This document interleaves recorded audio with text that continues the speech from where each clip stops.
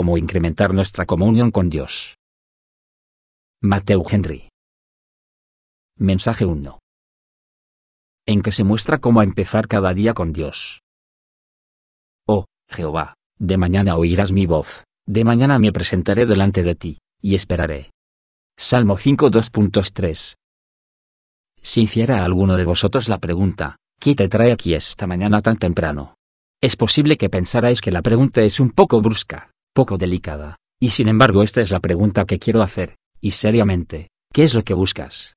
Siempre que andamos en tratos con Dios, sea en el culto o donde sea, deberíamos poder dar una buena respuesta a la pregunta que Dios le hizo a Elías, ¿qué haces aquí, Elías? Cuando regresamos o hemos terminado este encuentro con Dios hemos de poder dar una buena respuesta a la pregunta que hizo Cristo a aquellos que seguían la predicación y ministerio de Juan el Bautista, ¿qué fuisteis a ver al desierto? Es sorprendente ver cuántos se han congregado aquí, sin duda, los campos están blancos para la siega, y estoy dispuesto a creer que no fue meramente por el placer de pasear en una mañana agradable que habéis venido aquí, o por curiosidad, porque la conferencia matutina nunca se había dado en este lugar, y que no es por la compañía, por el placer de encontrar amigos, sino que estáis aquí con un propósito piadoso, de dar gloria a Dios, y de recibir gracia de Él, y en los dos casos de mantener la comunión con Él. Y si me preguntáis a mí, que soy un ministro, porque he venido yo, espero poder contestar con sinceridad que es para ayudaros a vosotros en vuestro propósito, en cuanto Dios me lo permita. ¿Vienes en paz? Le preguntaron los ancianos de Belén a Samuel, y quizá me preguntaréis lo mismo, a lo cual voy a contestar, como hizo el profeta, en paz hemos venido a sacrificar al Señor y a invitaros a vosotros a sacrificar. El mensaje matutino os da la oportunidad para doblar vuestras devociones por la mañana además de adorar a Dios en privado y en la familia lo cual no debe ser suprimido o eliminado por venir a escuchar este mensaje. Aquí os hayáis reunidos en solemne asamblea en el nombre de Dios, tanto para orar juntos como para oír un sermón, según he oído decir. Estas reuniones por la mañana se iniciaron en tiempos en que la nación se hallaba bajo la desolación y juicio de una guerra civil. Tenéis también la oportunidad de conversar con la palabra de Dios. Ahí tenéis la voluntad de Dios, precepto sobre precepto y línea sobre línea. Ojalá que cuando se os presenta la oportunidad de hablar con Dios, mañana tras mañana, como dice el profeta, vuestros oídos puedan oír como los sabios. Isaías 52.4.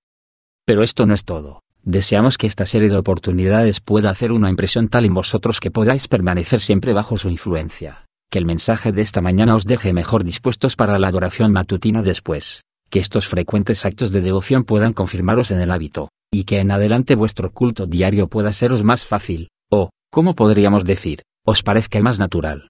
Para ayudaros a ello quisiera recomendaros el santo ejemplo de David en nuestro texto, el cual después de haber resuelto, en general, versículo 2, que abundaría en el deber de la oración y permanecería en él, a ti oraré, establece el momento adecuado para ello, y este momento es la mañana, de mañana me presentaré delante de ti, de mañana oirás mi voz. Pero no solo por la mañana. David ejecuta este deber de la oración tres veces al día, como Daniel, mañana y tarde y a mediodía oraré y clamaré, Salmo 55 2.17. Y aún esto no basta, sino siete veces al día le alabaré. Salmo 119 2.164. Pero de modo particular por la mañana. Es prudente y es nuestro deber el empezar cada día con Dios. Observemos en el texto, la buena obra que tenemos que hacer en sí. Dios tiene que oír nuestra voz, hemos de dirigirle nuestra oración a Él, hemos de esperar en Él. El tiempo designado y observado para hacer esta buena obra. Este momento es hoy por la mañana, y de nuevo la próxima mañana, esto es, cada mañana, cada vez que empieza el día. En cuanto a lo primero, o sea, la obra, o la buena obra que se nos enseña por medio del ejemplo de David, se resume en una palabra, orar. Un deber que ya nos dicta la luz y la ley de la naturaleza, que nos habla de modo claro y alto, ¿no deben los hombres buscar a su Dios? Pero el Evangelio de Cristo aún nos da instrucciones más claras y nos anima a hacerlo mejor que la naturaleza, y es en su nombre que hemos de orar, y con su ayuda, y nos invita a presentarnos con confianza ante el trono de la gracia, y entrar en el lugar santísimo por la sangre de Jesús. Esta obra la hemos de hacer no solamente por la mañana, sino en todo momento. Le hemos de predicar la palabra fuera de tiempo, pero no le hemos de orar fuera de tiempo, porque nunca es fuera de tiempo para orar. El trono de la gracia está siempre abierto y suplicantes humildes son recibidos siempre con una bienvenida, y no pueden presentarse a deshora. Pero veamos en qué forma expresa aquí David su piadosa resolución de cumplir este deber oirás mi voz. La voz de David puede ser oída de dos maneras. O bien, considera que será aceptado por Dios en su gracia. Oirás mi voz cuando por la mañana dirigiré a ti mi oración, este es el lenguaje de la fe, fundado en la promesa de Dios de que su oído oirá siempre el clamor de su pueblo. David había orado. Versículo 1. Escucha, oh, Jehová, mis palabras, y en el versículo 2. Está atento a la voz de mi clamor. Y aquí hay una respuesta de aquella petición, la convicción de que oirás. No tengo la menor duda de que la oirás, y aunque de momento no tengo una garantía concedida de la cosa que pido, con todo, estoy seguro de que mi oración será oída, aceptada y presentada, como ocurrió con la oración de Cornelio, es guardada, catalogada, pero no olvidada.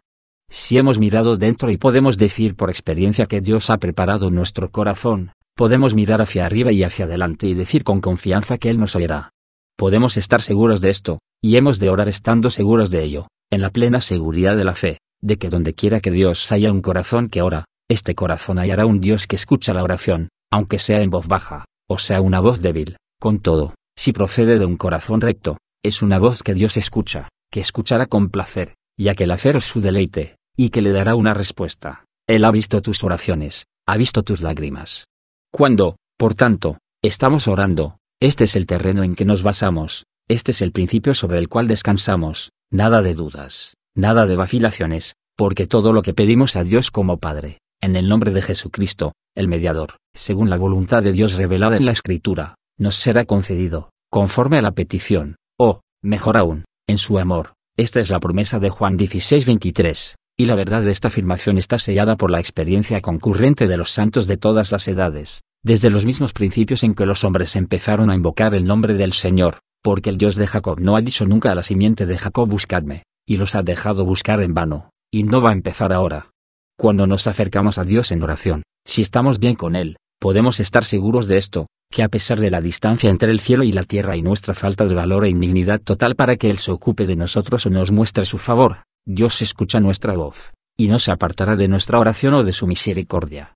Hay que entender esta expresión como que David le promete a Dios que esperará siempre en él, en la forma que él ha designado. Oirás mi voz, esto es, hablaré a ti, porque tú has inclinado tu oído a mí muchas veces, por tanto, he tomado la resolución de clamar a ti en todo momento, hasta el fin de mis días. No pasará un solo día que no me oigas. No que sea la voz en sí aquello que Dios considera, como parecen creer los que levantan su voz en alto en la oración. Isaías 58 2.4. Ana oró y prevaleció aun cuando no se podía oír su voz. Es la voz del corazón la que se entiende aquí. Dios dijo a Moisés, ¿por qué clamas a mí, cuando no se nos dice que Moisés hubiera dicho una sola palabra? Éxodo 14:15. La oración es levantar el alma a Dios y derramar el corazón delante de Él, con todo, para la expresión de los afectos devotos del corazón por medio de las palabras necesarias para precisar los pensamientos y estimular los deseos, es conveniente presentarse delante de Dios, no solo con el corazón puro, sino también con voz humilde, así que hemos de entreabrir los labios, pero no levanta la voz. No obstante, Dios entiende el lenguaje del corazón, y este es el lenguaje en el cual hemos de esperar en Dios. David ora aquí, versículo 1, no solo pidiendo que Dios le escuche, sino que considere su meditación Salmo 19:14, sean gratos los dichos de mi boca y la meditación de mi corazón delante de ti. Esto, pues, hemos de hacer en toda oración, hemos de hablar a Dios, hemos de escribirle, decimos que oímos de un amigo cuando recibimos carta de él, hemos de procurar que Dios nos oiga cada día. Él lo espera y lo requiere. Aunque Él no tiene necesidad de nosotros o de nuestros servicios, ni puede sacar provecho de ellos, con todo, Él nos ha mandado que le ofrezcamos el sacrificio de oración y alabanza continuamente. Así Él mantendrá su autoridad sobre nosotros y hará presente en nuestra mente nuestra sumisión a Él, algo que tenemos tendencia a olvidar.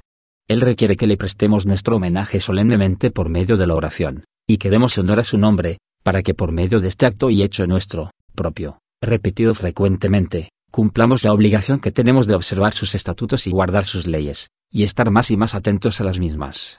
Él es tu Señor y tú le adoras para que por medio de la humilde adoración de sus perfecciones puedas llevar a cabo un humilde y constante cumplimiento de su voluntad que sea más fácil para ti. Al rendir obediencia aprendemos obediencia. Así Él testificará su amor y compasión hacia nosotros. Ya habría sido una señalada prueba de su interés y afecto por nosotros el mero hecho de que hubiera dicho, háblame cuando haya la oportunidad, llámame cuando te encuentres en apuros o necesidad y ya es bastante, pero para mostrar su complacencia en nosotros como un padre con su hijo cuando le envía fuera de casa y nos encarga que le enviemos noticias nuestras cada día por cada correo, aunque no haya ningún asunto especial para discutir. lo que muestra que la oración del justo es su deleite, música a sus oídos, como Cristo dice a la paloma, muéstrame tu rostro, hazme oír tu voz, porque dulce es tu voz y hermoso tu semblante. Cantares 2.14. Y es a la esposa, la iglesia, que Cristo habla al cerrar el cantar de los cantares. Oh, tú que habitas en los huertos, los compañeros prestan oído a tu voz, házmelo oír. Capítulo 8.13. Qué vergüenza es para nosotros que Dios quiere que oremos a Él con más frecuencia de lo que nosotros estamos dispuestos a dejarle oír nuestra oración. Tenemos algo que decir a Dios cada día. Muchos no se dan cuenta de esto, y esto es su pecado y su desgracia, viven sin Dios en el mundo, creen que pueden vivir sin Él, son insensibles a su dependencia, y por tanto, por su parte no tienen nada que decirle, Él ni tiene noticias de ellos, como no las tenía el padre del hijo pródigo cuando iba por el mundo por su cuenta. Preguntan con mofa qué es lo que puede hacer para ellos el Todopoderoso, y no es de extrañar que después de esto pregunten qué provecho les va a resultar de orar a Dios. Y el resultado es que dicen prácticamente al Todopoderoso que se aparte de ellos, con lo que están sellando su sentencia. Pero yo espero cosas mejores de vosotros, hermanos, y que vosotros no sois de los que han descartado todo temor y que restringen su oración a Dios. Vosotros estáis dispuestos a confesar que hay mucho que el Todopoderoso puede hacer por vosotros, y que hay provecho en orar a Dios y habéis resuelto acercaros más a Dios para que Él se acerque a vosotros.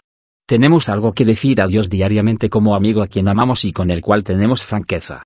A un amigo así cuando pasamos cerca de su casa lo visitamos, y nunca nos hallamos sin tener algo que decirle, aunque no haya ningún asunto especial pendiente entre los dos, con un amigo así podemos derramar nuestro corazón, podemos profesarle nuestro afecto y estima, y le comunicamos nuestros pensamientos con placer. Abraham es llamado el amigo de Dios, y este honor es asimismo el de todos los santos, pues dijo Cristo, no os he llamado siervos, sino amigos. Él guarda su intimidad con los justos, nosotros somos invitados a familiarizarnos con Él, a andar con Él como un amigo anda con otro amigo. La comunión de los creyentes ha de ser con el Padre y con su Hijo, Jesucristo, y, ¿no tenemos algo para decirle? ¿No es bastante ir al trono de su gracia para admirar sus infinitas perfecciones que nunca podemos comprender plenamente, y que nunca contemplaremos bastante y en las que nunca tendremos bastante complacencia? ¿O para complacernos en contemplar la hermosura del Señor y darle la gloria que debemos a su nombre?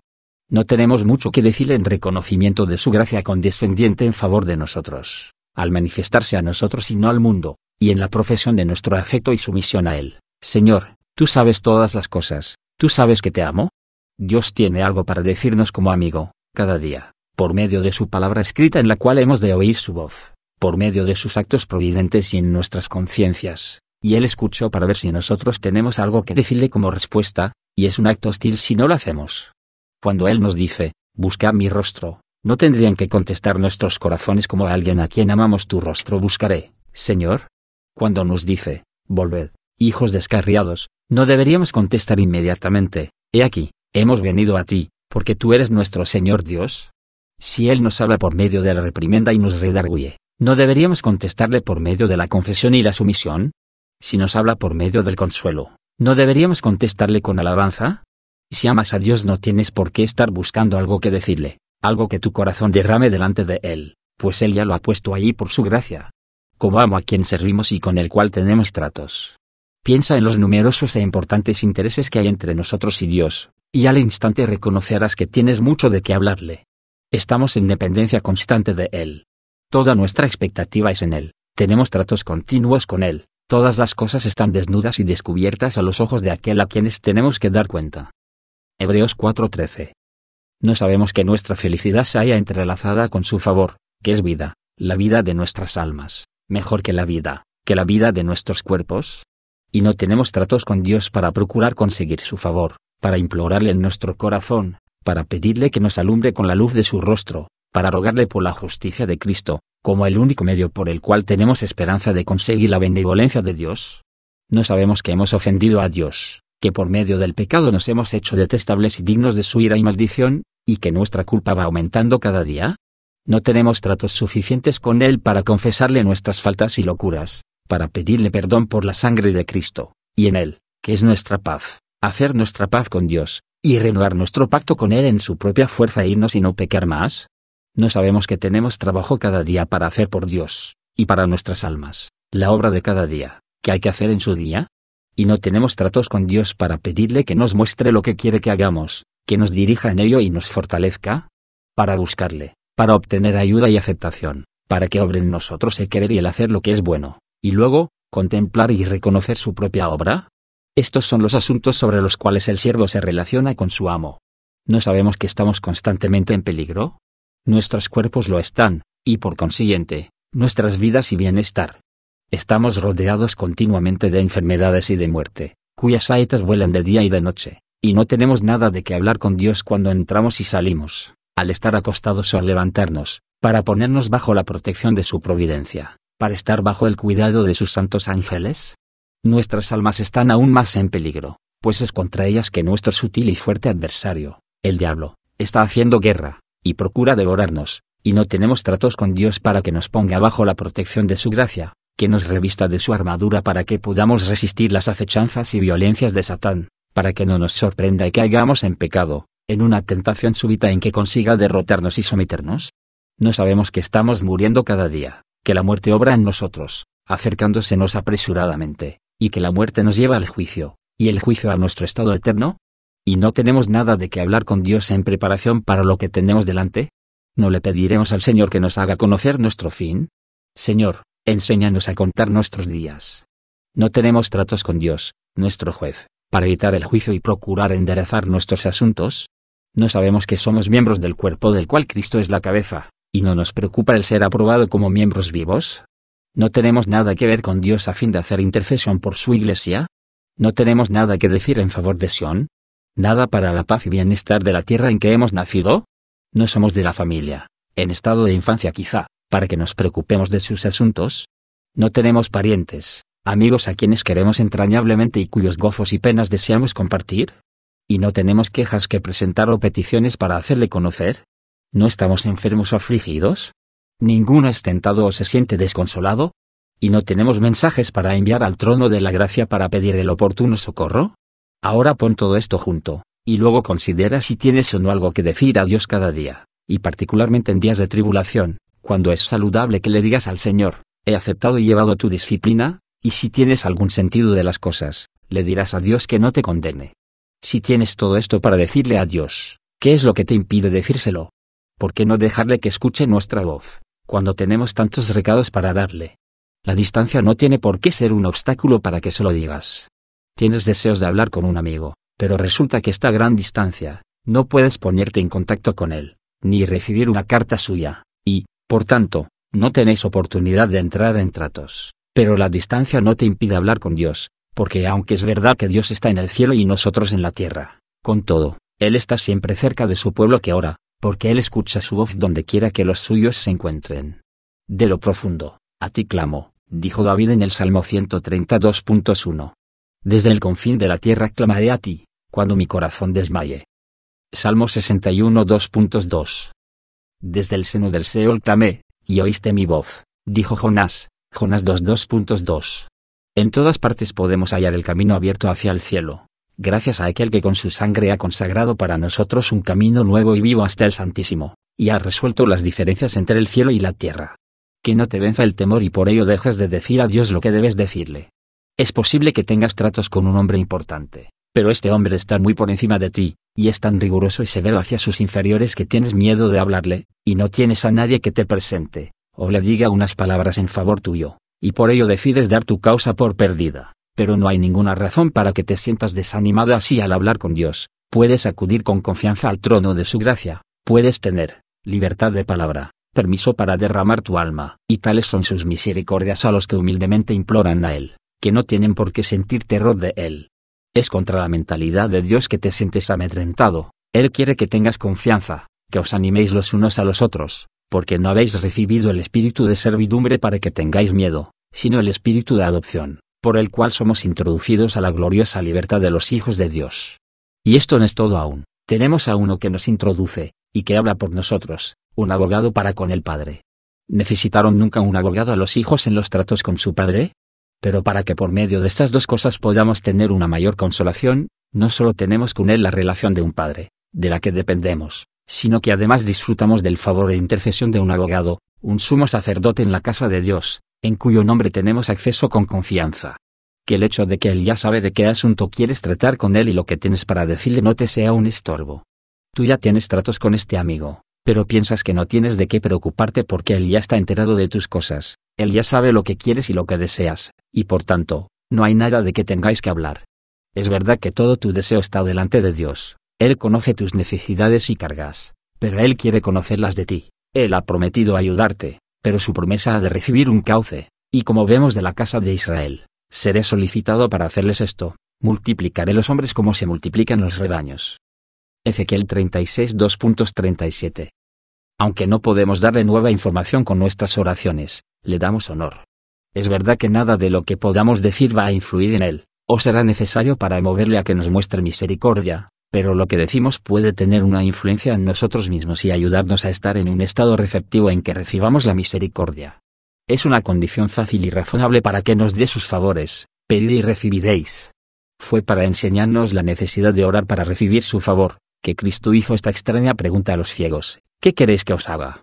Él sabía lo que querían, pero los que quieren recibir sus favores tienen que estar dispuestos a decirles cuál es su petición. Que ningún otro asunto te impida decirle a Dios lo que tienes que decirle. Quizá tenemos negocios de que tratar con un amigo, pero no podemos hacerlo porque no tenemos tiempo. Tenemos otra cosa que hacer que es más necesaria, pero no podemos decir lo mismo de Dios, porque no hay la menor duda de que aquello que tenemos con Él es lo más necesario ante lo cual toda otra cosa tiene que ceder. No es necesario para nuestra felicidad que seamos importantes en el mundo o que alcancemos grandes posesiones, pero es absolutamente necesario que hagamos la paz con Dios, que consigamos su favor y nos mantengamos en su amor. Por tanto, no hay asunto en este mundo que pueda ser excusa de que no estemos atentos a Dios, sino al contrario, cuanto más importante sea el negocio que tengamos con el mundo, más necesario nos es dirigirnos a Dios por medio de la oración para tener su bendición y tenerle a Él con nosotros.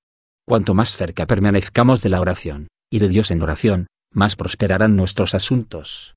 Quisiera persuadiros ahora de que Dios ha de oír con frecuencia vuestra voz. Oíste mi grito, no cierres tu oído a mi grito de socorro.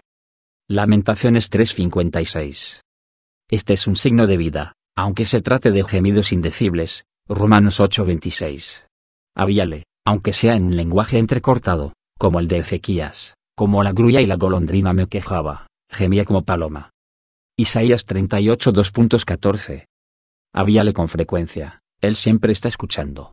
Escúchale cuando él te habla, presta atención a todo lo que te dice, como cuando escribes la respuesta a una carta de negocios, la pones delante de ti, la palabra de Dios tiene que ser la guía a tus deseos, y no esperes que te escuches y tú haces oídos sordos a lo que Él te dice.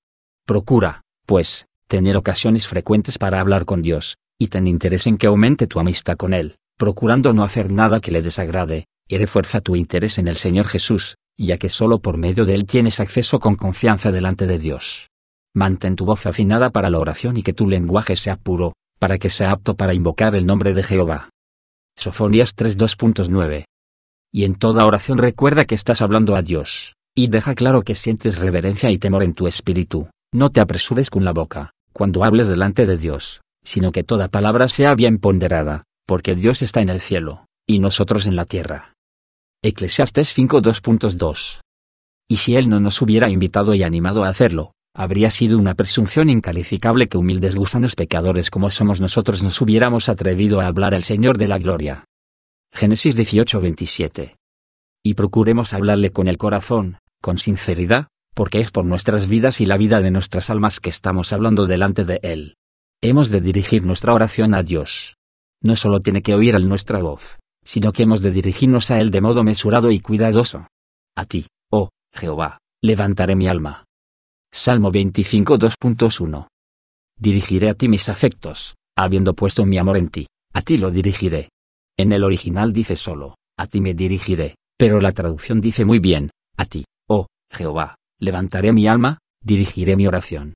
Esto es, cuando oro a ti te dirijo mis oraciones, y concentro en ello mis pensamientos. Aplico mi alma asiduamente al deber de la oración. Hemos de hacerlo de modo solemne, como aquellos que tienen algo de gran importancia en su corazón, que para ellos es de valor, y no lo tratan a la ligera. Cuando voy a orar, no debo ofrecer el sacrificio de los necios, que no piensan en lo que van a hacer o lo que han de sacar de ello, sino que he de decir las palabras de los sabios, que tienen un objetivo recto y claro en lo que dicen, y adaptan lo que dicen bien a él, nosotros hemos de tener como propósito la gloria de Dios y nuestra verdadera felicidad, y el pacto de la gracia está tan bien ordenado que Dios se ha complacido en unir sus intereses a los nuestros, de modo que al buscar su gloria real y efectivamente, buscamos nuestros verdaderos intereses. Esto es dirigir la oración como el que dispara una saeta al blanco directamente, y está apuntando con el ojo fijo y el pulso seguro. Esto es ocupar nuestro corazón en Dios a fin de desprenderlo de todo lo demás.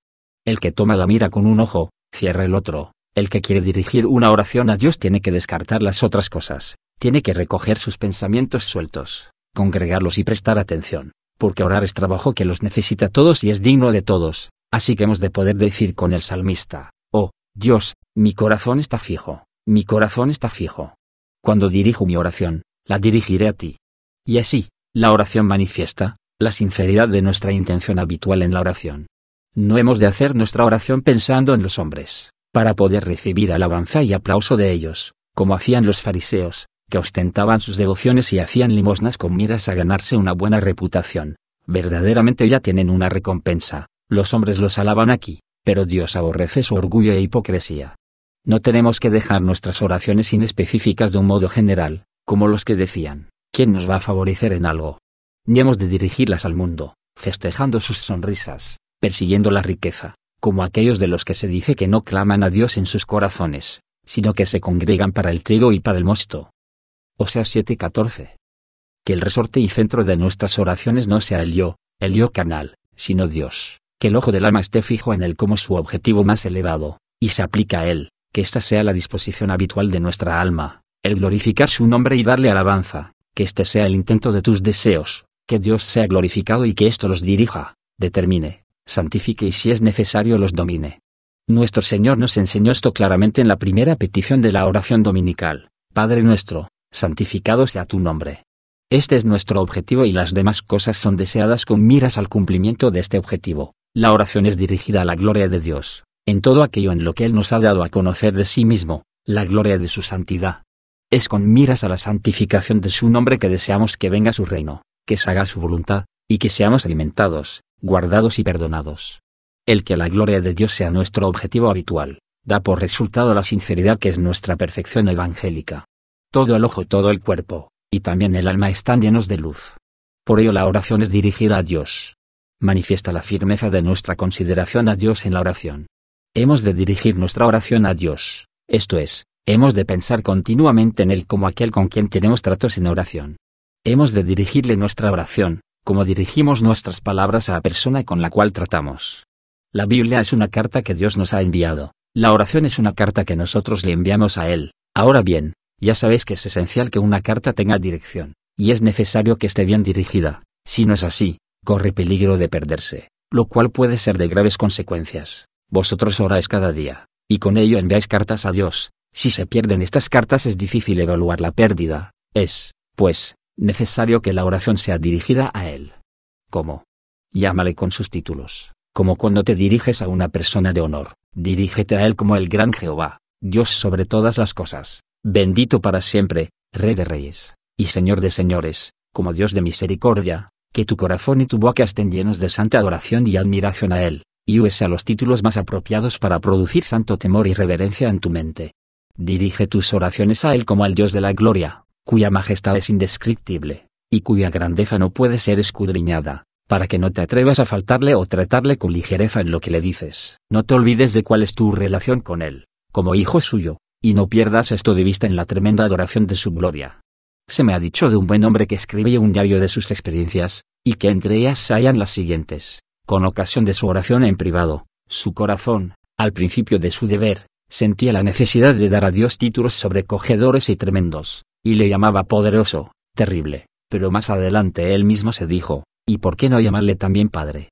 Cristo, tanto en precepto como en ejemplo, nos enseñó a dirigirnos a Dios como nuestro Padre, y el Espíritu de adopción nos enseña a clamar, Abba, Padre, un hijo, aunque sea pródigo, cuando se arrepiente y regresa, puede ir a su Padre y decirle, Padre, he pecado, ya no soy digno de ser llamado tu hijo. Pero, con todo, se atreve a llamarle padre. Cuando Efraín se queja de que, como novio indómito, fue castigado, Dios dice de él, hijo predilecto, niño mimado. Jeremías 31 2.18, 20, y si Dios no se avergüenza de llamarle hijo, bien podemos nosotros llamarle padre. Dirige tu oración a Dios en el cielo.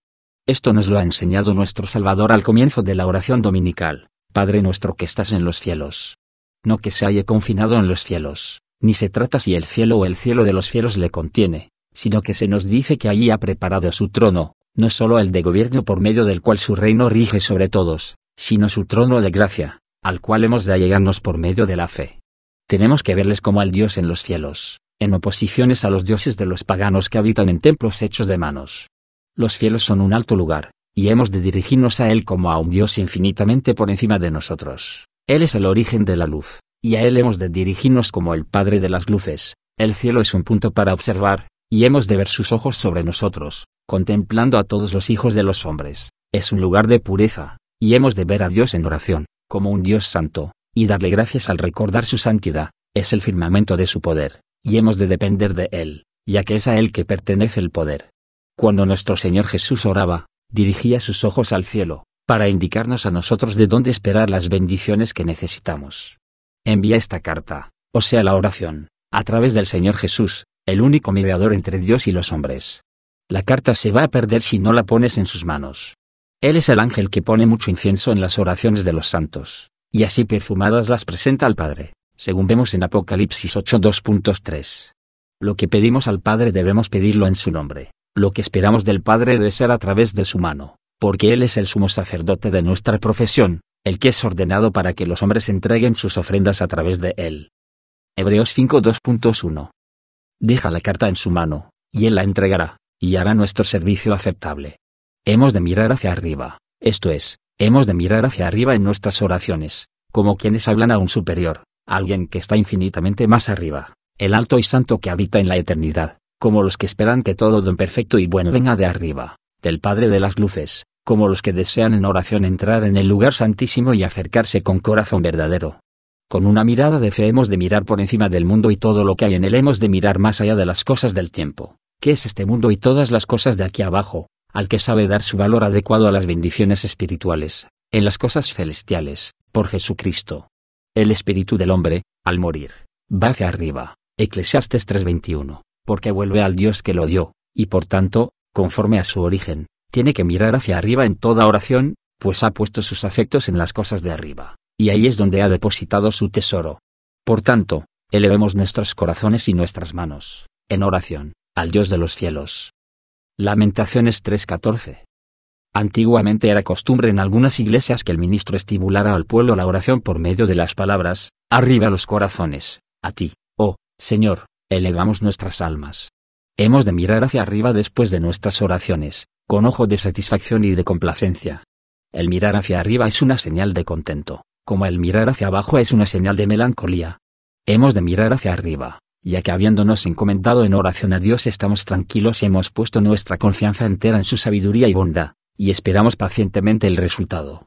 Ana, después de orar, miró hacia arriba con aspecto satisfecho, siguió su camino, y comió, y su rostro ya no estuvo triste. 1. A Samuel 1.18. La oración da tranquilidad al corazón del buen cristiano y cuando hemos orado deberíamos mostrar que la tenemos con un ojo observador, por ver lo que Dios nos da como resultado de ellas.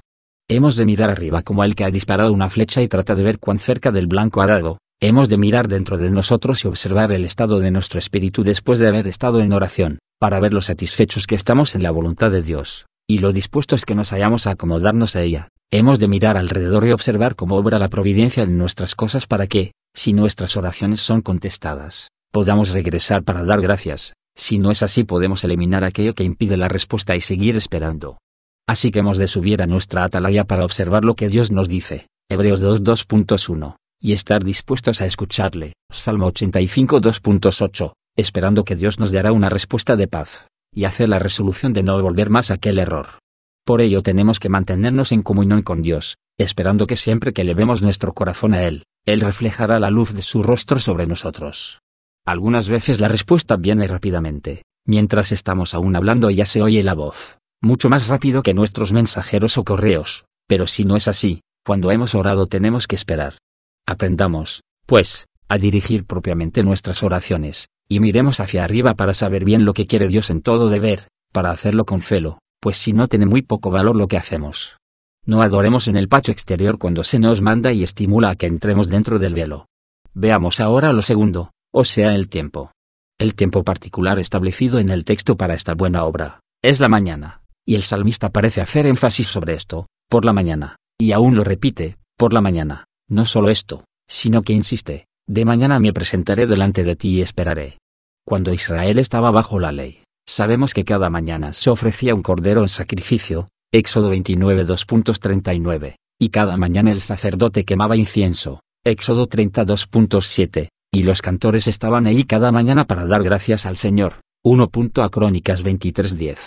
Y también fue establecido este en el templo, en días de Ezequiel, 46 2.13, 14, 15, por medio de lo cual se dejaba ver bien claro que los sacrificios espirituales tenían que ser ofrecidos por sacerdotes espirituales, cada mañana, tan seguro como la llegada de esta misma mañana.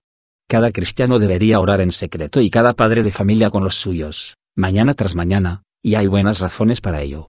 La mañana es la primera parte del día, y es apropiado que él, que es el primero, tenga lo primero y sea servido antes. Los paganos decían, todo lo que hagas empiézalo con Dios. El mundo tuvo su comienzo de él, nosotros tuvimos el nuestro también, y todo lo que empecemos tenemos que hacerlo contando con él. Los días de nuestra vida, tan pronto como se levanta el sol de la razón en nuestra alma, deben ser dedicados a Dios, y empleados en su servicio. Desde el amanecer deja a Cristo que tenga el rocío de la juventud, Salmo 110 2.3. Las primicias siempre fueron para el Señor, y también los primogénitos del rebaño. En la oración de la mañana y de la tarde damos gloria a aquel que es el alfa y la omega, el primero y el último, con él hemos de empezar y terminar el día, empezar y terminar la noche, él es el principio y el fin, la primera causa y la última.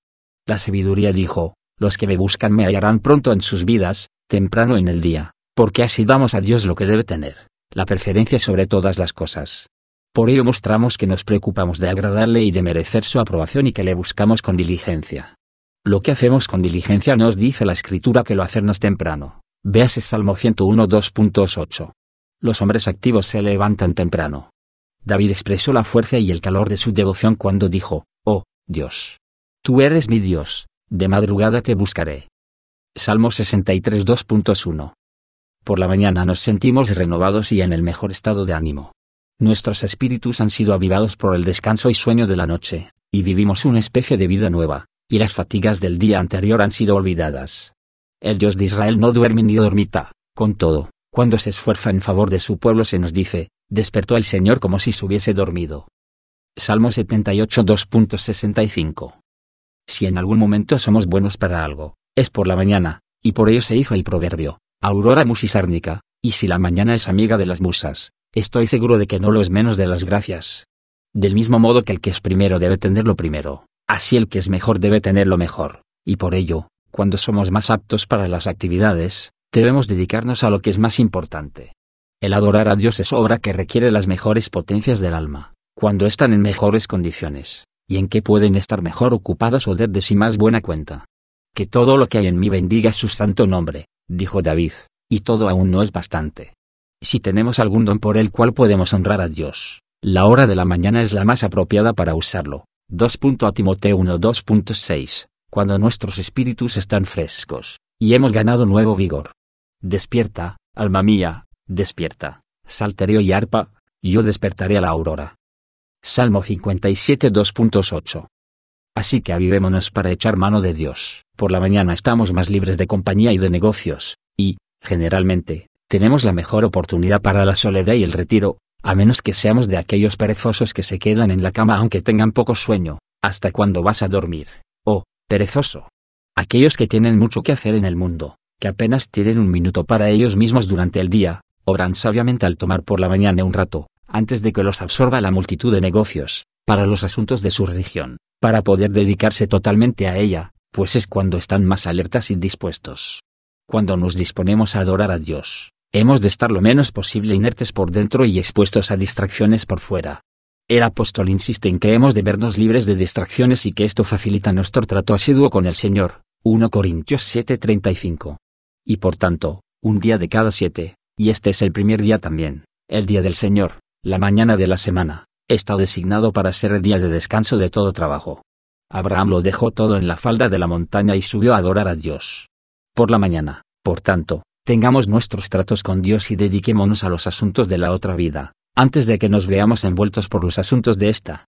Nuestro Señor Jesús nos dio ejemplo de esto, ya que como tenía el día lleno de actividades públicas para Dios y las almas de los hombres, Se levantaba muy de mañana, y antes de que llegara nadie, se iba a orar a un lugar solitario.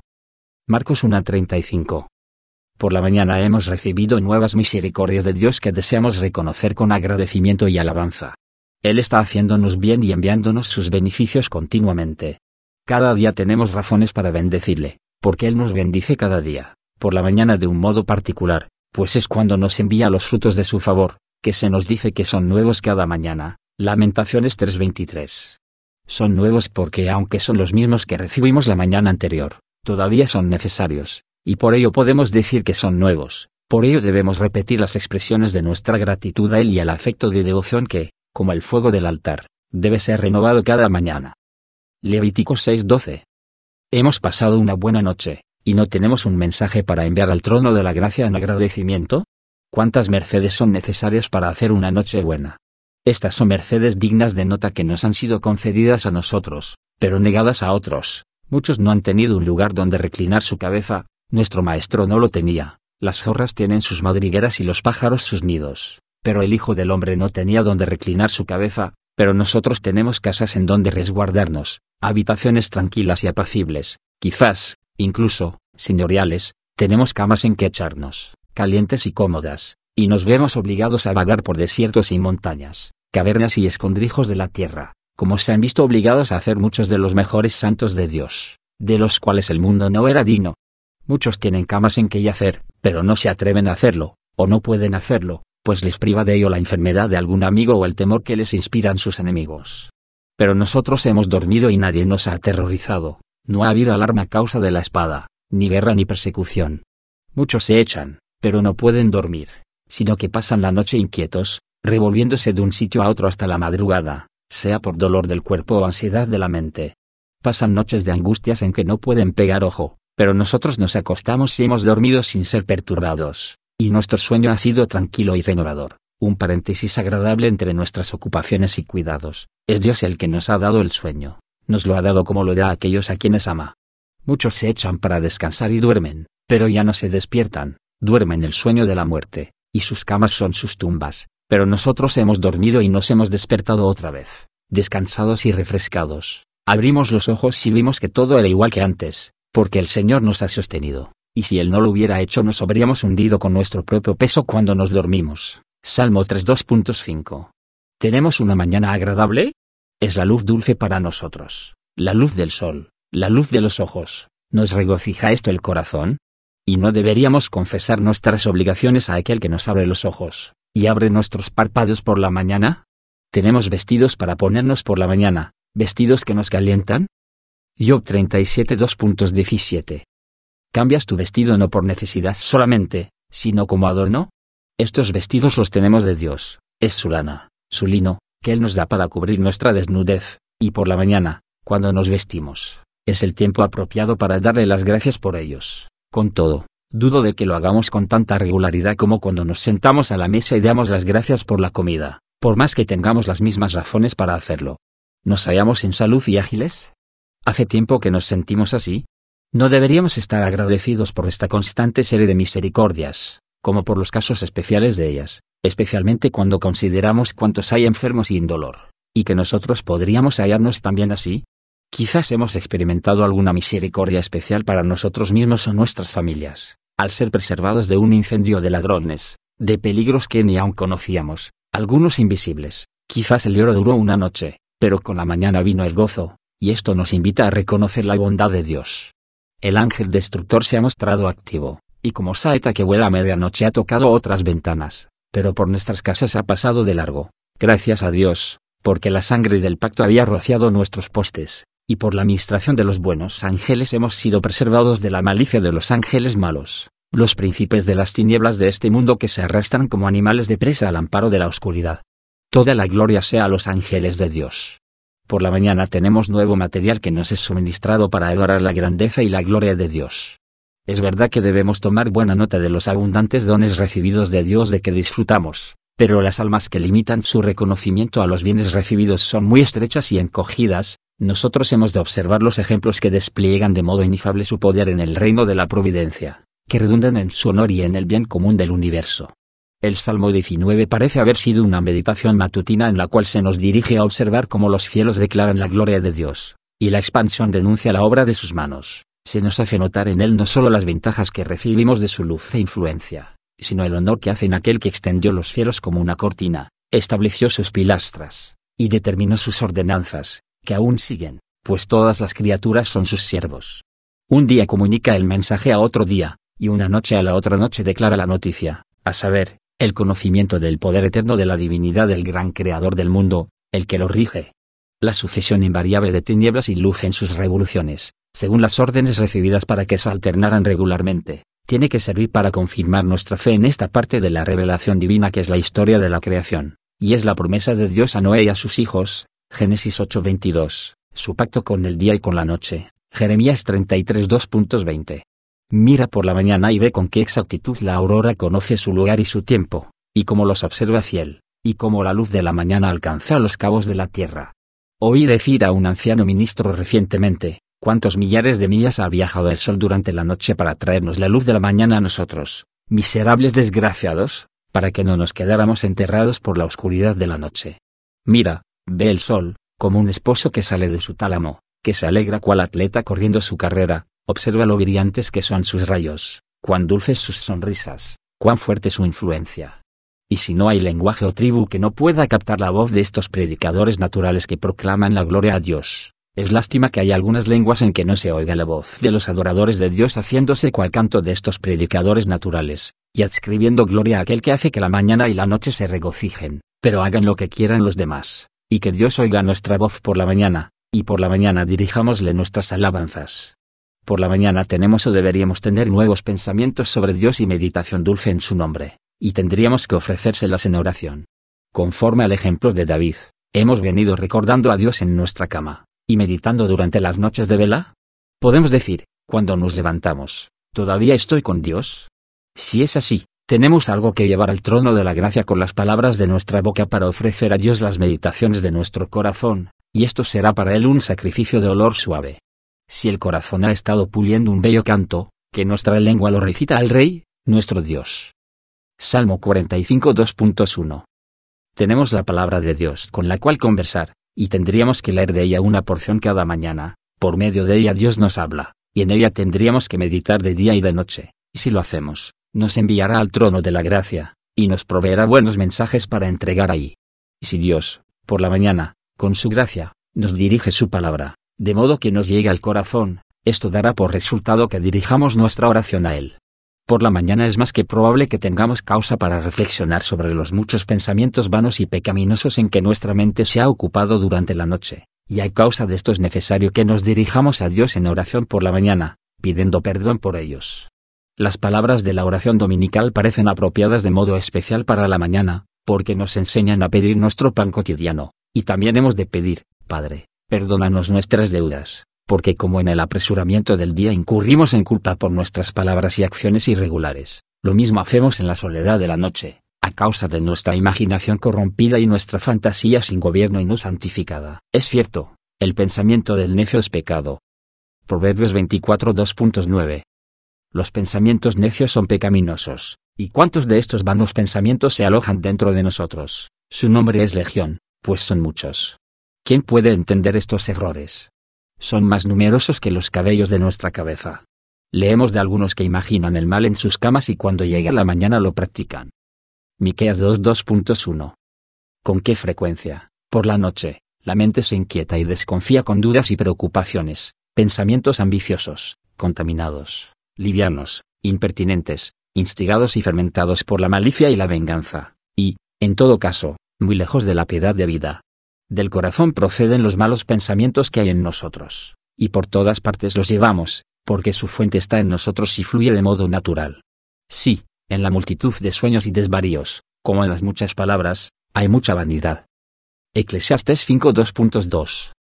Y nos atrevemos a salir sin haber renovado nuestro arrepentimiento, para el que hemos acumulado material todo el día y toda la noche? No queremos confesarlo a aquel que conoce nuestros corazones, nuestros descarríos, nuestras rebeliones, nuestras retractaciones, para hacer las paces en la sangre de Cristo y orar, para que perdone los pensamientos de nuestro corazón? No podemos ir con tranquilidad a hacernos cargo de las tareas del día con una carga de pecado del que no nos hemos arrepentido y que no ha sido perdonado. Por la mañana nos preparamos para la obra del día, y por tanto, procuramos por medio de la oración buscar la presencia y la bendición de Dios. Se nos dice que podemos ir con confianza al trono de la gracia, no solo para pedir que se nos perdone aquello en que hemos faltado, sino para pedir gracia, que nos ayude en todo tiempo de necesidad.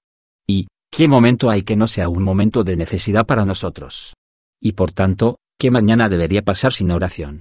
Leemos de las cosas que han sido ordenadas conforme al rito para cada día. Esdras 3.2.4, y es por esto que vamos a Dios cada mañana para orar, para la graciosa confesión de su providencia respecto a nosotros y las operaciones de gracia del Espíritu. Tenemos familias a las que debemos cuidar, quizás, y hemos de proveer para ellas. Presentémoslas, pues, cada mañana en oración ante Dios, encomendándolas al cuidado y gobierno de su gracia, y así las ponemos de modo efectivo bajo la protección y cuidado de su providencia. El santo Job se levantaba temprano por la mañana y ofrecía holocaustos conforme al número de sus hijos. Job 1.2.5.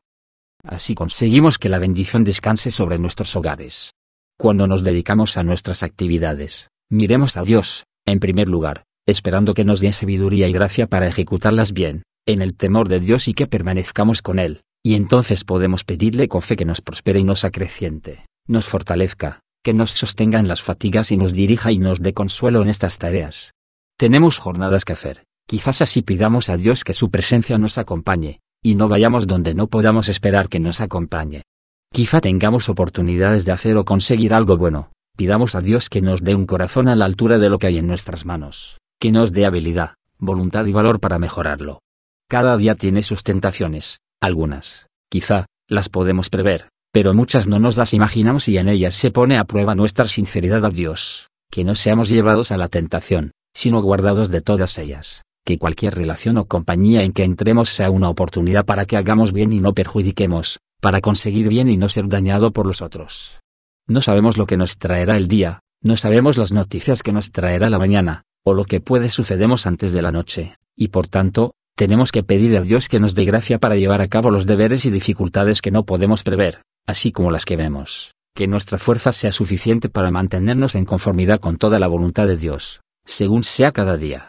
Hallaremos que basta para cada día su propio afán, y por tanto, así como es locura el pensar y apenarnos por los sucesos de mañana, es de sabios pensar en los de hoy, para que sea suficiente para aquel día y para sus deberes la provisión de la divina gracia que necesitemos, para toda obra o palabra buena y para fortificarnos contra toda obra o palabra mala, para no decir, pensar o hacer nada durante el día que pueda ser causa de que deseemos no haberlo pensado, dicho o hecho. Aplicación práctica de la doctrina anterior primero, que estas palabras nos recuerden nuestras omisiones, porque éstas son pecado y han de venir a juicio. ¿Cuántas veces nuestro culto matutino ha sido olvidado o ha sido rendido con descuido? La obra, o bien no ha sido hecha, o ha sido hecha con doblez, o bien no se presentó sacrificio, y si se hizo, ha sido el perniquebrado, el cojo, el enfermo, o bien no ha habido oración o no ha sido dirigida propiamente, y por tanto, no se ha elevado. Hemos tenido las misericordias de la mañana, Dios no ha fallado en su compasión y nos ha cuidado como Padre. No obstante, no hemos hecho el servicio matutino, sino que hemos faltado de modo vergonzoso al deber de hijos suyos. Humillémonos verdaderamente delante de Dios esta mañana por nuestros pecados y locura de haberle privado, con frecuencia, del honor del culto matutino, y a nosotros mismos de sus beneficios. Dios se había llegado a nuestra despensa pensando hallar fruto, pero no lo halló, o no halló casi nada, estuvo escuchando, pero no le hablábamos a él o no le hablábamos bien.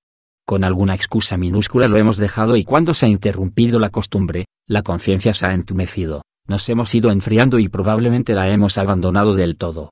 Segundo, os ruego que escuchéis una palabra de exhortación respecto a esto.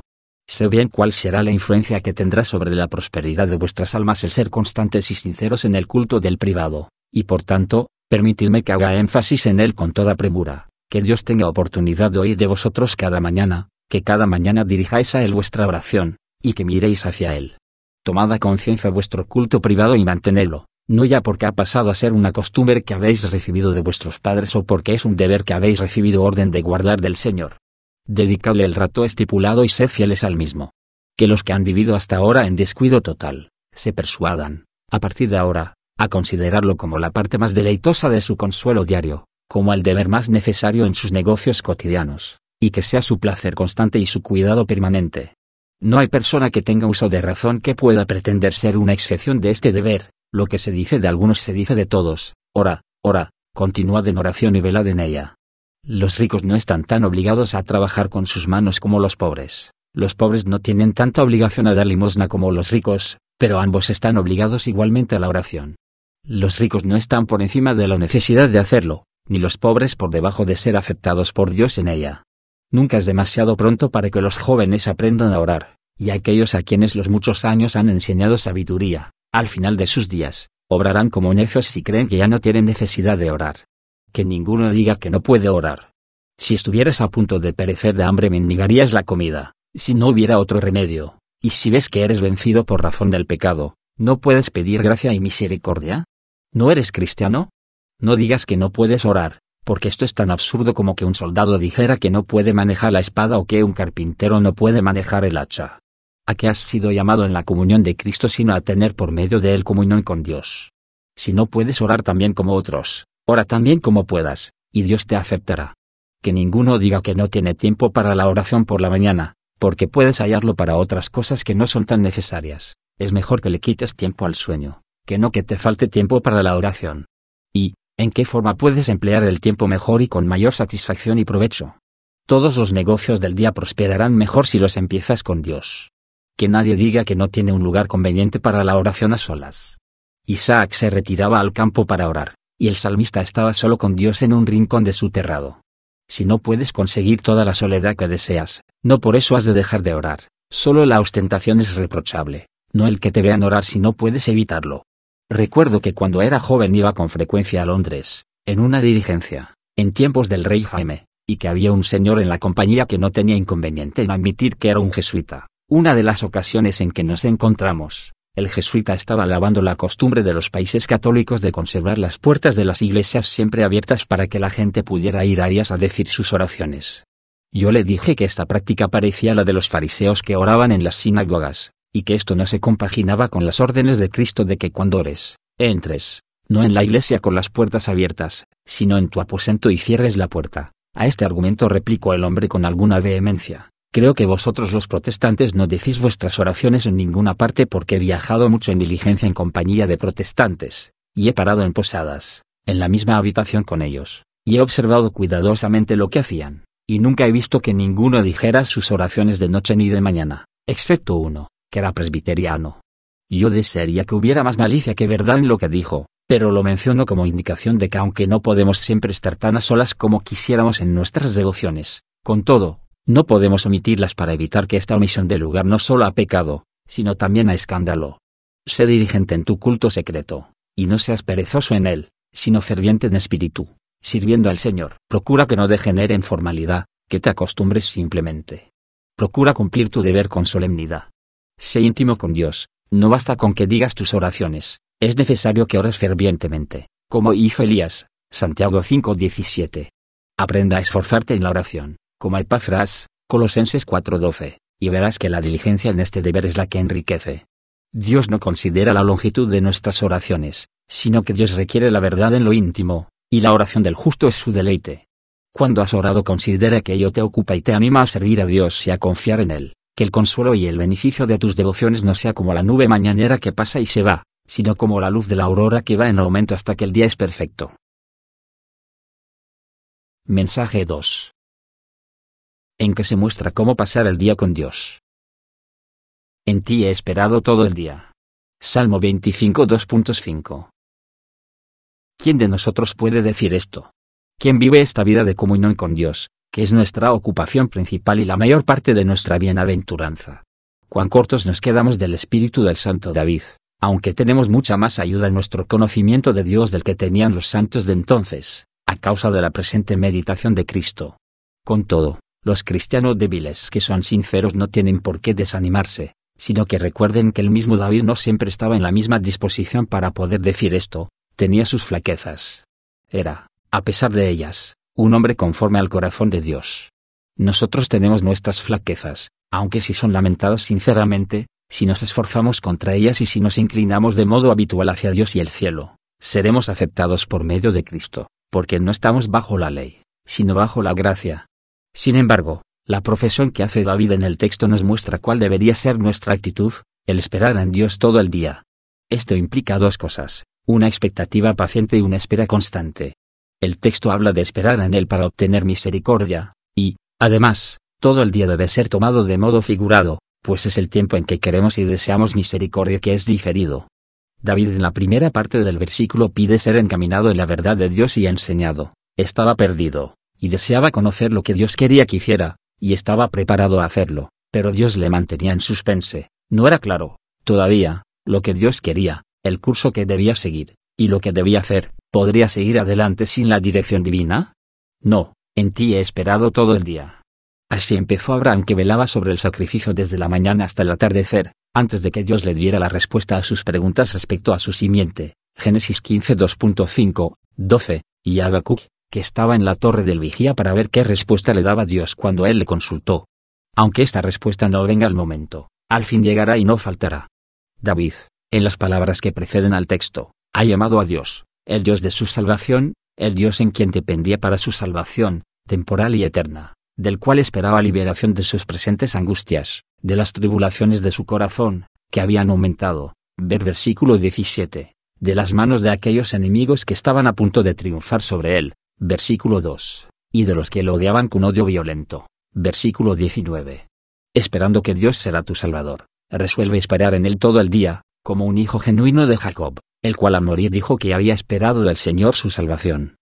Génesis 49 2.18 a veces Dios manda sus bendiciones a los suyos antes de que ellos se las pidan. Dios la ayudará, la ciudad de Dios, al clarear la mañana. Salmo 46 2.5. Pero en otras ocasiones parece que está distante, que demora su liberación y los hace esperar. Sí, los tiene en suspense. La luz no es ni brillante ni ausente, es de día, pero está nublado y oscuro. Y no es hasta el atardecer que viene la luz y el consuelo que habíamos estado esperando todo el día, es más, Quizá no llega hasta la noche y esa medianoche que se oye el grito, he aquí el esposo que viene. La liberación a la iglesia de sus tribulaciones, su triunfo en la lucha, el descanso y rescate de la opresión de los malos, y el cumplimiento de todo lo que Dios le ha prometido es lo que hemos de continuar esperando humildemente de Dios, sin desconfianza ni impaciencia, y hemos de seguir esperando todo el día. Aunque sea un día largo, aunque hayamos de estar esperando mucho tiempo, mucho más de lo que pensábamos. Aunque hayamos esperado mucho, todavía hemos de esperar más, y como el siervo del profeta, tenemos que ir siete veces, 1. A Reyes 18:43, antes de percibir el menor signo de que la misericordia se acerca. Esperábamos que la liberación de Israel tenía que venir de esto o de aquello, pero hemos quedado decepcionados. La siega pasó, el verano acabó, y nosotros no hemos sido salvos. Jeremías 8:20. Se prolonga el tiempo, las oportunidades se deslizan, la época de la siega termina, cuando nosotros pensábamos que podíamos cosechar el fruto de nuestras oraciones y esfuerzos, y la paciencia se está agotando y estamos tan lejos de la salvación como antes. El tiempo en que el arca se queda en Kiriat Jearim es largo, mucho más largo de lo que habíamos esperado cuando fue llevada ahí, fue veinte años, de modo que toda la casa de Israel se lamentaba en pos de Jehová, y empezaron a temer que tendrían que permanecer en aquella oscuridad. 1 Samuel 7 2.2 Pero aunque fue un periodo muy largo, es solo como un día, y su fin es solo conocido por el Señor. Zacarías 14 2.7. Parece largo mientras estamos esperando, pero el final feliz nos permitirá reflexionar sobre el hecho de que es corto, solo un momento. No es más largo de lo que Dios ha decidido, y podemos estar seguros de que su tiempo es el mejor, y de que vale la pena que esperemos sus favores. El tiempo es largo, pero no es nada comparado con los días de la eternidad, cuando aquellos que tuvieron paciencia serán recompensados por ello con la salvación eterna. Aunque sea un día oscuro, esperemos en Dios todo el día. Aunque mientras esperamos lo que Dios hará estemos a oscuras sobre lo que Él hace y lo que es mejor para nosotros, estemos contentos esperando en la oscuridad. Aunque no veamos ninguna señal, aunque no haya nadie que nos diga cuánto durará, sigamos esperando el tiempo que sea, pues, aunque no sepamos lo que Dios hace ahora, lo sabremos después, cuando se haya desvelado el misterio de Dios. No hubo nunca un hombre más desconcertado que yo en sus tratos con Dios. Me dirijo al oriente y no lo hallo, y al occidente, y no lo percibo, si muestra su poder al norte yo no lo veo, al sur me vuelvo y no lo encuentro. Yo 23 2.8. Con todo, espera confiado en que Él conoce mi camino, me examinará y saldré como el oro, versículo 10, o sea probado y mejorado. Dios está esperando como el refinador, y cuando el oro no necesite ser más refinado no volverá a ser metido en el horno. En el mar te abriste camino, y tus sendas en las muchas aguas, y tus pisadas no dejaron rastro, con todo, estamos seguros de que su camino es en el santuario, de modo que podemos confiar en él. Ver Salmo 77, versículo 13 y 19. Y aun cuando las nubes y la oscuridad le rodean, con todo, la justicia y el juicio son la habitación de su trono. Aunque el día sea tempestuoso, tenemos que esperar en Dios todo el día. Aunque estamos inmóviles, sin poder avanzar, y el viento nos es contrario y nos empuja hacia atrás, y nos rodea la tempestad, y estamos a punto de hundirnos, no hemos de perder la esperanza, hemos de esperar y capear la tormenta con paciencia. Nos consuela saber que Cristo está en la barca, que la causa de la Iglesia es la causa de Cristo, pues Él la ha hecho suya, Él se junto a su pueblo, y por tanto, no hemos de temer, no cabe duda de que la barca llegará al puerto, aunque el presente Cristo parezca dormir, las oraciones de sus discípulos le despertarán y él increpará los vientos y las olas. Y esto no es todo, Cristo no solo está en la barca, sino que está al timón, sea lo que sea lo que amenace a la iglesia, el Señor Jesús lo permite o lo hace, y él hará que redunde para su bien. Esta idea está expresada por las palabras de George Herbert, nunca desanimados, puesto que Dios escucha. Cuando el viento y las olas abofetean Mickey él preserva la barca, puesto que se halla dentro. Aunque ahora parezca que está zozobrando, no hay tormenta furiosa que no sea amansada cuando Jesús la increpa. Y él no duerme, que vela. Son unas palabras apropiadas para el día de hoy. Lo que Dios hará de nosotros no lo podemos decir, pero de una cosa estamos seguros, Él es un Dios de juicios infinitamente sabio y justo, y por tanto, benditos son aquellos que esperan en él. Isaías 32.18. Él hará su obra a su tiempo y a su manera, y aunque nos veamos empujados otra vez al desierto, cuando pensábamos que ya estábamos en la frontera de Canaán, sufrimos justamente por nuestra falta de fe y nuestras murmuraciones, pero Dios obra sabiamente, y veremos que es fiel a su promesa. El momento en que juzga a su pueblo y cambia el curso de las cosas es cuando ve que la fuerza de ellos está agotada, esto se vio antaño en el monte del Señor, y se verá otra vez. Y por tanto hemos de continuar en una actitud de espera. Resiste con fe y paciencia porque es bueno que el hombre tenga esperanza y espere tranquilo la salvación del Señor. El texto nos habla también de un esperar constante en él en el sentido de un deber. Y así comprendemos el día de modo literal. David tenía la costumbre de esperar en Dios todo el día. Mulf significa cada día y todo el día, lo mismo ocurre en la orden de Proverbios 23-17 no tenga tu corazón en vida de los pecadores, sino permanece en el temor de Jehová todo el día. No basta con que empecernos cada día con Dios, sino que en Él hemos de esperar cada día y todo el día. Para empezar con esto vamos a mostrar en primer lugar lo que es esperar en Dios, y en segundo lugar que hemos de hacerlo cada día y todo el día. En cuanto a lo primero, inquiramos lo que es esperar en Dios. Ya habéis oído que es nuestro deber por la mañana hablarle en oración solemne. Pero, ¿basta con esto para el resto del día? No, Hemos de seguir esperando en Él, como con alguien con quien tenemos estrechos vínculos de parentescos y tenemos una fuerte obligación. El esperar en Dios es vivir una vida de deseo hacia Él, de deleite en Él, y devoción a Él. Es vivir una vida de deseo hacia Dios, esperar en Él, como el mendigo espera en su benefactor con intenso deseo de recibir provisiones de Él, como un paralítico en el estanque de Bethesda esperaba que las aguas fueran removidas para ser curado.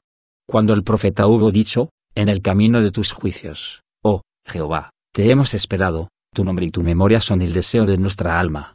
Sigue a continuación explicando, con mi alma te he deseado en la noche, y con todo el aliento de mi pecho madrugo a buscarte. Isaías 26 2.8, 9. Nuestro deseo tiene que ser no solo hacia las buenas cosas que Dios nos da, sino hacia Dios mismo, su favor y amor, la manifestación de su nombre a nosotros, y las influencias de su gracia sobre nosotros. Entonces esperamos barra en Dios, cuando nuestras almas suspiran por Él y su favor, cuando estamos sedientos de Dios, del Dios vivo. Oh, ¿quién pudiera contemplar la hermosura del Señor? Oh, ¿quién me diera a probar su bondad? ¿Quién pudiera llevar su imagen y ser moldeado conforme a su voluntad enteramente? Porque no hay nada en el cielo o en la tierra que desee en comparación con Él. Oh, ¿quién pudiera conocerle más, amarle más, ser llevado cerca de Él y ser hecho más acto para Él? Así, sobre las alas del santo deseo, nuestras almas deberían elevarse hacia Dios siempre más arriba, siempre hacia el cielo. No solo hemos de orar solemnemente por la mañana, sino que el deseo que es la vida y alma de la oración, como el fuego sobre el altar, tiene que ser mantenido siempre ardiendo, presto para los sacrificios que han de ser ofrecidos sobre él. La tendencia e inclinación del alma en todos sus movimientos es hacia Dios el servirle en todo lo que hacemos y gozar de Él en todo lo que tenemos. Y esto se refiere de un modo especial a las órdenes que se nos dan para que oremos siempre, que oremos sin cesar, que continuemos orando. Incluso cuando no nos estamos dirigiendo realmente a Dios hemos de tener la inclinación acostumbrada hacia Él, como un hombre en salud, que aunque no esté constantemente comiendo, tiene una disposición, sin embargo, hacia la nutrición y los deleites del cuerpo. Así que debemos estar siempre esperando en Dios como nuestro sumo bien, y movernos en dirección a Él. Es vivir una vida de deleite en Dios, como el amante espera a la amada. El deseo es el amor en movimiento, como un pájaro sobre el ala. El deleite es el amor en reposo, como un pájaro en el nido. Aunque nuestro deseo tiene que seguir siendo hacia Dios, como tenemos que estar deseando más de Dios, nuestros deleites también tienen que ser en Dios, hasta el punto que no tenemos que tener ningún otro deseo sino a Dios. Al creer que es un Dios suficiente totalmente, hemos de estar enteramente satisfechos en Él, nos basta con tenerle a Él. ¿Queremos amar a Dios? Es un placer para nosotros pensar que haya un Dios así, que Él es tal como se nos ha revelado que Él es nuestro Dios por habernos creado y que puede disponer de nosotros según le plazca, nuestro Dios por el pacto, para disponer de nosotros según nuestro bien. Esto es esperar en nuestro Dios, esperar en Él con placer. De una forma u otra el alma tiene aquello de que se precia, algo en lo cual reposa, y, ¿qué es? ¿Dios o el mundo? ¿En qué ponemos nuestro orgullo? ¿De qué nos jactamos? Es lo natural en las personas del mundo que se jacten de la multitud de sus riquezas, Salmo 49 2.6, y de su poder, y del poder de sus manos, que consideran les han conseguido estas riquezas. Las personas piadosas, por su parte, se caracterizan en que se enorgullecen de Dios todo el día. Salmo 44 2.8. En Dios nos gloriábamos todo el día. Esto es esperar en Dios, tener la vista siempre sobre Él con una secreta complacencia, como los hombres la tienen en aquello que es su gloria, en que pueden gloriarse. En qué es que nos complacemos, que abrazamos con la mayor satisfacción, sobre lo que reclinamos nuestra cabeza y de cuya posesión nos felicitamos, como si lo tuviéramos todo. El rico mundano, con sus graneros llenos de trigo, dijo a su alma, Huélgate, come, bebe y alégrate. El hombre piadoso no puede decir palabras así hasta que tiene su corazón lleno de Dios, de Cristo y de su gracia, y entonces dice, vuelve a tu reposo, oh, Alma, descansa. El alma que ha recibido la gracia reposa en Dios, que es su hogar, y en él se complace perpetuamente, y aunque hay muchas cosas en el mundo que la desazonan, haya bastante en el Señor para compensarlo. Es vivir una vida de dependencia en Dios, como el niño depende de su padre, en quien tiene confianza, y sobre quien echa todos sus cuidados. El esperar en Dios es esperar todo el bien que nos llega de Él, como quien obra todo bien en nosotros y por nosotros, el que nos da toda buena dádiva y el que nos protege de todo mal. Así lo dice David en el Salmo 62 2.5. Mi alma espera solo en Dios, y sigue haciéndolo porque mis expectativas son de Él, no miro a otro para el bien que necesito porque sé que las criaturas, lo creado, son para mí solo aquello que Él quiere que sean y nada más, y es Él quien controla todo juicio de los hombres. ¿Levantaremos nuestros ojos a los montes? ¿Viene de ahí nuestro socorro? ¿No va más allá de las cumbres de las colinas el rocío que suaviza el valle? Iremos más allá, y levantaremos nuestros ojos a los cielos, a las nubes. ¿Pueden darnos lluvia? No, si Dios no escucha a los cielos, los cielos no escuchan a la tierra. Hemos, pues, de mirar más allá de los montes, más arriba de los cielos, porque nuestro socorro viene del Señor. Esto lo reconoció un rey que era un modelo de reyes. Si el Señor no te ayuda, ¿cómo podré ayudarte desde el granero o desde el lagar? y nuestras expectativas de Dios en tanto que son guiadas por la palabra que Él ha pronunciado y basadas en ella, tendrían que ser en humilde confianza y con plena seguridad de fe. Tenemos que saber y estar seguros de que ninguna palabra de Dios quedará colgando, que las expectativas de los pobres no perecerán. Las personas del mundo dicen al oro, tú eres mi esperanza, y al oro fino, tú eres mi confianza, y la riqueza es la fortaleza del rico, pero Dios es el único refugio y porción del hombre piadoso en la tierra de los vivientes, y es solo a Él que dice con confianza, Tú eres mi esperanza, tú eres mi confianza. Los ojos de todas las criaturas esperan en Él porque es bueno para todos, pero los ojos de sus santos lo hacen de modo especial porque Él es también, de un modo peculiar, bueno para Israel, bueno para ellos. Conocen su nombre y por ello confían en Él y triunfan en Él, como los que saben que no serán avergonzados de su esperanza. Es vivir una vida de devoción a Dios, como el siervo sirve a su amo dispuesto a observar su voluntad y hacer su trabajo, y en todo tiene en cuenta su honor y sus intereses. El esperar en Dios es estar atento de modo completo y sin reservas en su santa y sabia dirección, sus disposiciones, y estar alegremente conforme en ellas y cumplirlas. El siervo que sirve a su amo no escoge la manera en que lo hace, sino que sigue a su amo paso a paso. De esta forma tenemos que servir a Dios, como los que no tienen voluntad suya propia, sino solo la de Él, y se esfuerzan para moldarse a ella. El carácter de los redimidos del Señor es que siguen al Cordero donde quiera que va, con una fe y obediencia implícitas.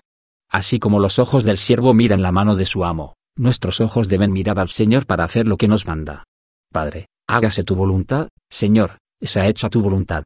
El siervo sirve a su maestro no solo para prestarle servicio, sino para hacerle honor, y así hemos de servir a Dios para que podamos ser motivo de alabanza a Él. Su gloria debe ser nuestro objetivo último, al cual hemos de dedicar todo lo que somos, tenemos y hacemos, hemos de llevar su marca, esperar en sus atrios, y seguir sus movimientos, como sus siervos, con miras a que Él sea glorificado en todas las cosas. El esperar en Dios es hacer de su voluntad nuestra regla.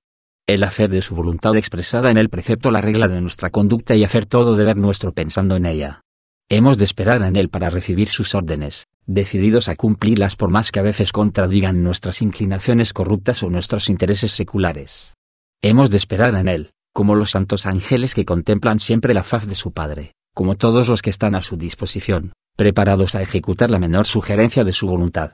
Así pues, hemos de hacer la voluntad de Dios, como la hacen los ángeles en el cielo, ministros suyos de su agrado, siempre alrededor del trono para hacerla, nunca apartados de él.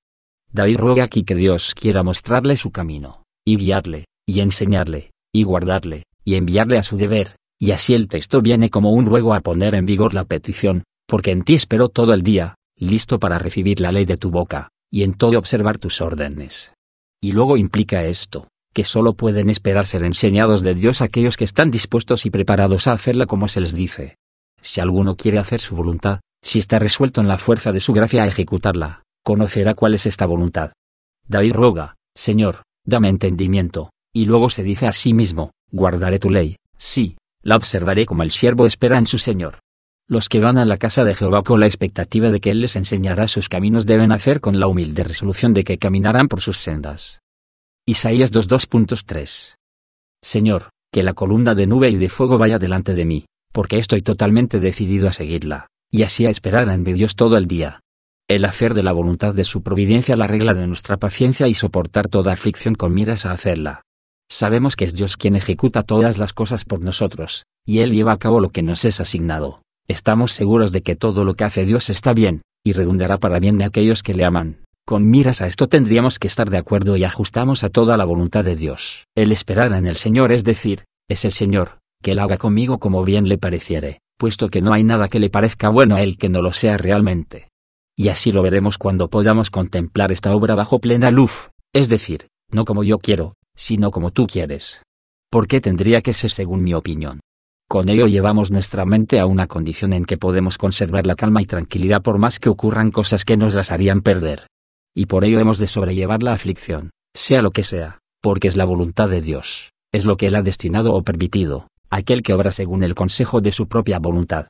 Esto es la paciencia cristiana, quedé mudo y no abrí mi boca, no porque no hubiera servido de nada el quejarme, sino porque tú lo hiciste y por tanto yo no tenía razón de hacerlo.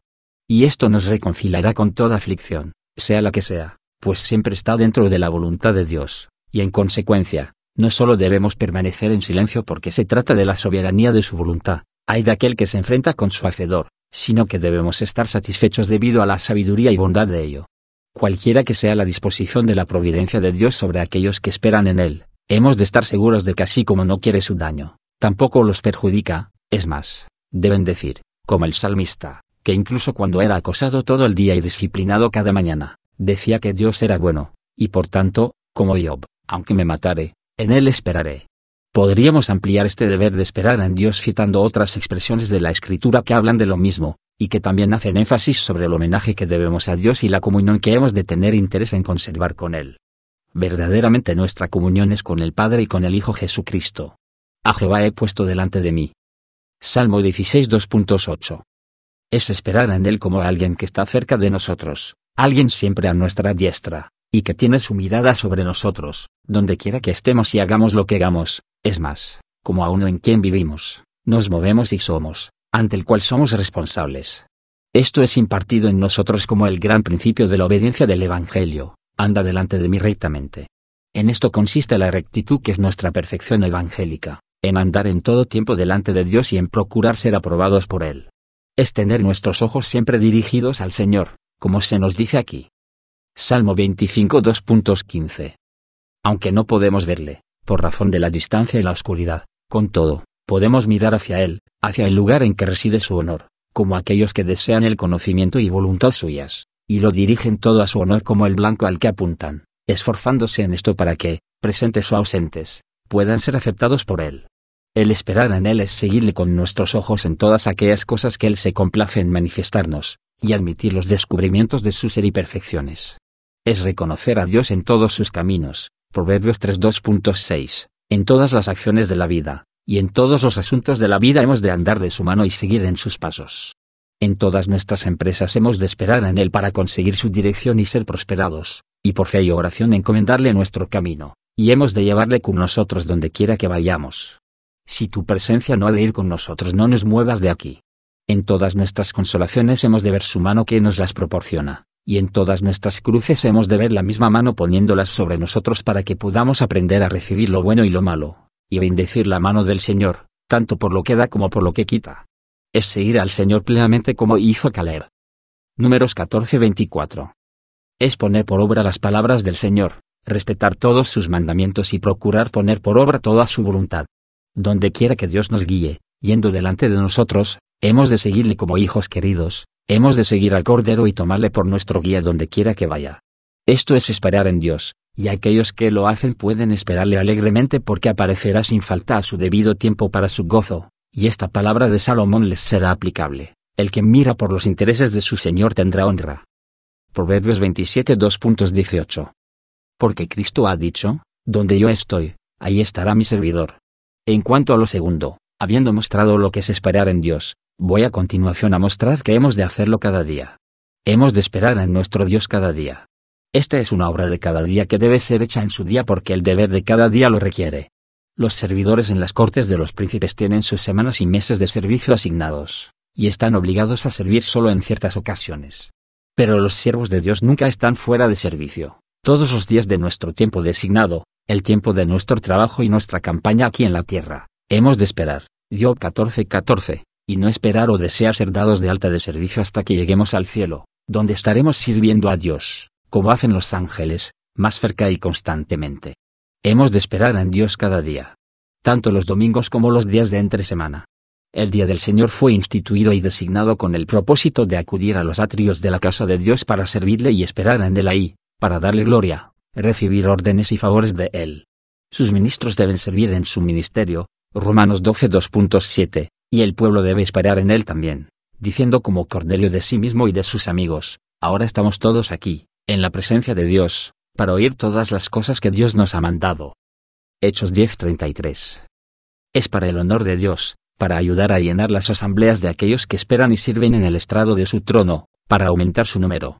Todo el tiempo del día del Señor, excepto el que se emplea en obras de necesidad y de misericordia, debe ser empleado en esperar y servir a Dios. Los cristianos son sacerdotes espirituales, y como tales, su ocupación es servir en la casa de Dios las horas designadas. Pero esto no es suficiente. Hemos de esperar en Dios durante la semana porque cada día de la semana queremos sus misericordias y tenemos trabajo que hacer para Él. Nuestro esperar en Él en los deberes públicos y religiosos el primer día de la semana, está planeado para establecernos y equiparnos para la comunión con Él durante la semana que sigue, de modo que no respondemos a las intenciones del día del Señor a menos que perduren en nosotros las impresiones del mismo, y entren con nosotros en los negocios de la semana, y permanezcan siempre en la imaginación de los pensamientos de nuestro corazón. Así, de un domingo al otro, y de una nueva luna a la otra, hemos de mantenernos en un marco de gracia y santidad, tiene que ser así en el espíritu del día del Señor, para andar en el espíritu toda la semana. Tanto en los días de ocio como en los de actividad hemos de estar esperando en Dios. Algunos días de nuestra vida serán días de trabajo y de prisas cuando se nos exige diligencia en nuestra vocación, pero no hemos de pensar que esto haya de ser una excusa válida de nuestro constante esperar en Dios. Aunque nuestras manos estén ocupadas en sus tareas, nuestro corazón puede estar esperando en Dios por medio de una inclinación habitual hacia Él, a su providencia como nuestra guía, y a su gloria como nuestro fin en nuestros negocios del mundo. y por ello nosotros debemos permanecer con Él en ellos. Por demás es que os levantéis de madrugada y que retraséis el descanso, y que comáis pan de fatigas. Salmo 127 2.2. La labor es en vano, es trabajo tirado al fuego. Algunos días en la vida descansamos de nuestros asuntos y tomamos un recreo. Muchos tenéis vuestro tiempo para diversión, pero cuando podéis aparte otros negocios, este esperar en Dios no puede ser puesto de lado. Cuando tú pones a prueba la alegría, como hizo Salomón, y dices que quieres gozar un poco del placer, con todo, la sabiduría debe permanecer contigo. Eclesiastes 2.2.1, 3. Que tus ojos se levanten a Dios, y procura que no pierdas la comunión con Él por causa de lo que tú llamas una conversación agradable con tus amigos. Tanto si es un día de la semana o un día de descanso, no hallaremos nada como el esperar en Dios para iluminar la tarea y endulzar el reposo. De modo que tanto si tenemos mucho que hacer o poco, en el mundo, todavía tenemos que seguir esperando en Dios para ser preservados de la tentación que acecha a los dos. Tanto en los días de prosperidad como en los de adversidad tenemos que esperar en Dios. ¿Nos sonríe y nos festeja el mundo? A pesar de ello no nos olvidemos de Él para rendirle tributo y atención. Por más que tengamos mucha riqueza de este mundo no podemos decir que no tenemos necesidad de Dios ni ocasión para hacer uso de Él, imitando en eso David que se atrevió a decir, en su prosperidad, que nunca sería conmovido, pero pronto se dio cuenta de su error cuando Dios le escondió el rostro y entró en tribulaciones. Salmo 32.6 Cuando nuestros asuntos prosperan y Dios pone prosperidad en nuestras manos, hemos de esperar en Dios como nuestro dueño y confesar nuestras obligaciones a Él. Hemos de esperar en la bondad y gracia de Dios para usar lo que tenemos en el mundo con miras a los fines para los que se nos ha confiado, sabiendo que tenemos que rendir cuentas y que esto será pronto y por más que tengamos buenas cosas de este mundo y que se nos haya provisto de ellas en abundancia para que disfrutemos, todavía tenemos que esperar en Dios para que nos dé cosas mejores, no solo de las que el mundo da, sino de las que Él mismo da en este mundo. Señor, no me basta con esta porción. Y cuando el mundo frunce el cejo sobre nosotros y las cosas nos van al revés no tenemos por qué inquietarnos de su ceño, o asustarnos, y por ello apartarnos de esperar en Dios, sino más bien ser llevados a ello. Las aflicciones nos son enviadas con este objetivo para llevarnos al trono de la gracia, para enseñarnos a orar, y para hacer la palabra de la gracia de Dios más preciosa para nosotros. En el día de nuestra aflicción hemos de esperar en Dios para que nos dé el consuelo que será suficiente para compensar nuestra pena. Job, estando en lágrimas, caía sobre su rostro y adoraba a Dios, tanto cuando le quitaba lo que tenía como cuando le añadía. En el día de nuestro terror debemos esperar en Dios para recibir el ánimo suficiente para apaciguar el miedo. Josafat, en su angustia, esperó en Dios sin esperó en vano, pues su corazón fue corroborado al hacerlo, y lo mismo ocurrió a David, con frecuencia, que hizo la resolución que fue un ancla para su alma, en tiempo de temor en ti confiaré. Tanto en los días de la juventud como de la ancianidad tenemos que estar esperando en Dios.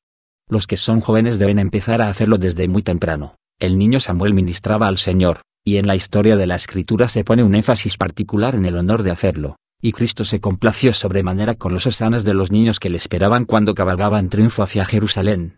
Cuando Salomón, en su juventud, después de su acceso al trono, esperaba que Dios le diera sabiduría, se nos dice que agradaba al Señor.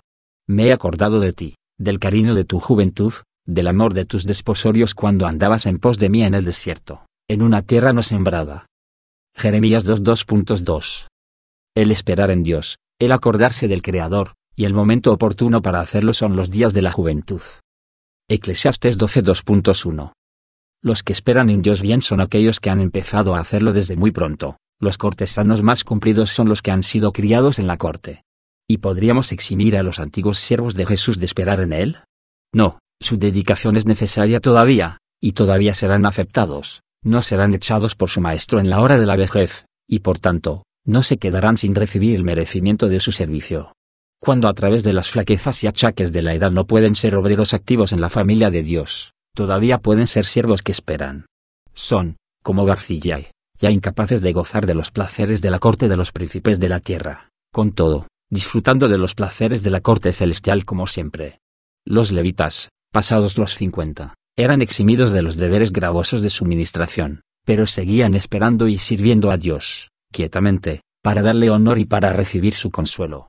Aquellos que han hecho la voluntad de Dios y su obra activa ha llegado a su final tienen necesidad de paciencia para que puedan esperar a heredar la promesa. Y cuanto más cerca se hallan de la felicidad que esperan, más acendradamente deben esperar, aguardando estar pronto con Él eternamente. Hemos de esperar en nuestro Dios todo el día, morir en Él como se nos dice. Cada día, de la mañana a la noche, tenemos que continuar esperando en Dios cualesquiera que sean los cambios que haya en nuestra ocupación. Esta debe ser la constante disposición de nuestra alma, el estar esperando en Dios y tener nuestros ojos siempre dirigidos a Él. No debemos permitirnos el alejarnos de Dios, o que otras cosas tengan prelación respecto a Él. Hemos de estar subordinados a su voluntad y subordinados a su gloria. Hemos de echar nuestros cuidados diarios sobre Él. Cada día trae consigo nuevos problemas. Más o menos, estos están a nuestro lado cuando nos despertamos por la mañana, y no tenemos que apresurarnos a buscar los problemas que tendremos mañana, pues le basta al día su propio afán.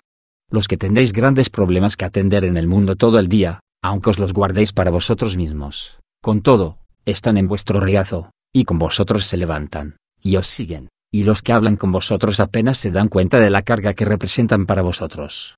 Algunos, por la debilidad de sus espíritus, apenas pueden hacer decisiones sino con miedo y temblando. Echad esta carga sobre el Señor creyendo que su providencia se extiende sobre todos vuestros asuntos, todos los sucesos que os afectan, y todas las circunstancias de los mismos, incluso las más pequeñas que parecen accidentales, que vuestra situación está en su mano y todos los caminos a su disposición, creed en su promesa de que todas las cosas redundarán para bien de aquellos que le aman, y presentarle a Él todas las cosas para que haga con vosotros y con los vuestros como parezca bien a sus ojos, y descansaos satisfechos después de hacerlo y decidid estar tranquilos.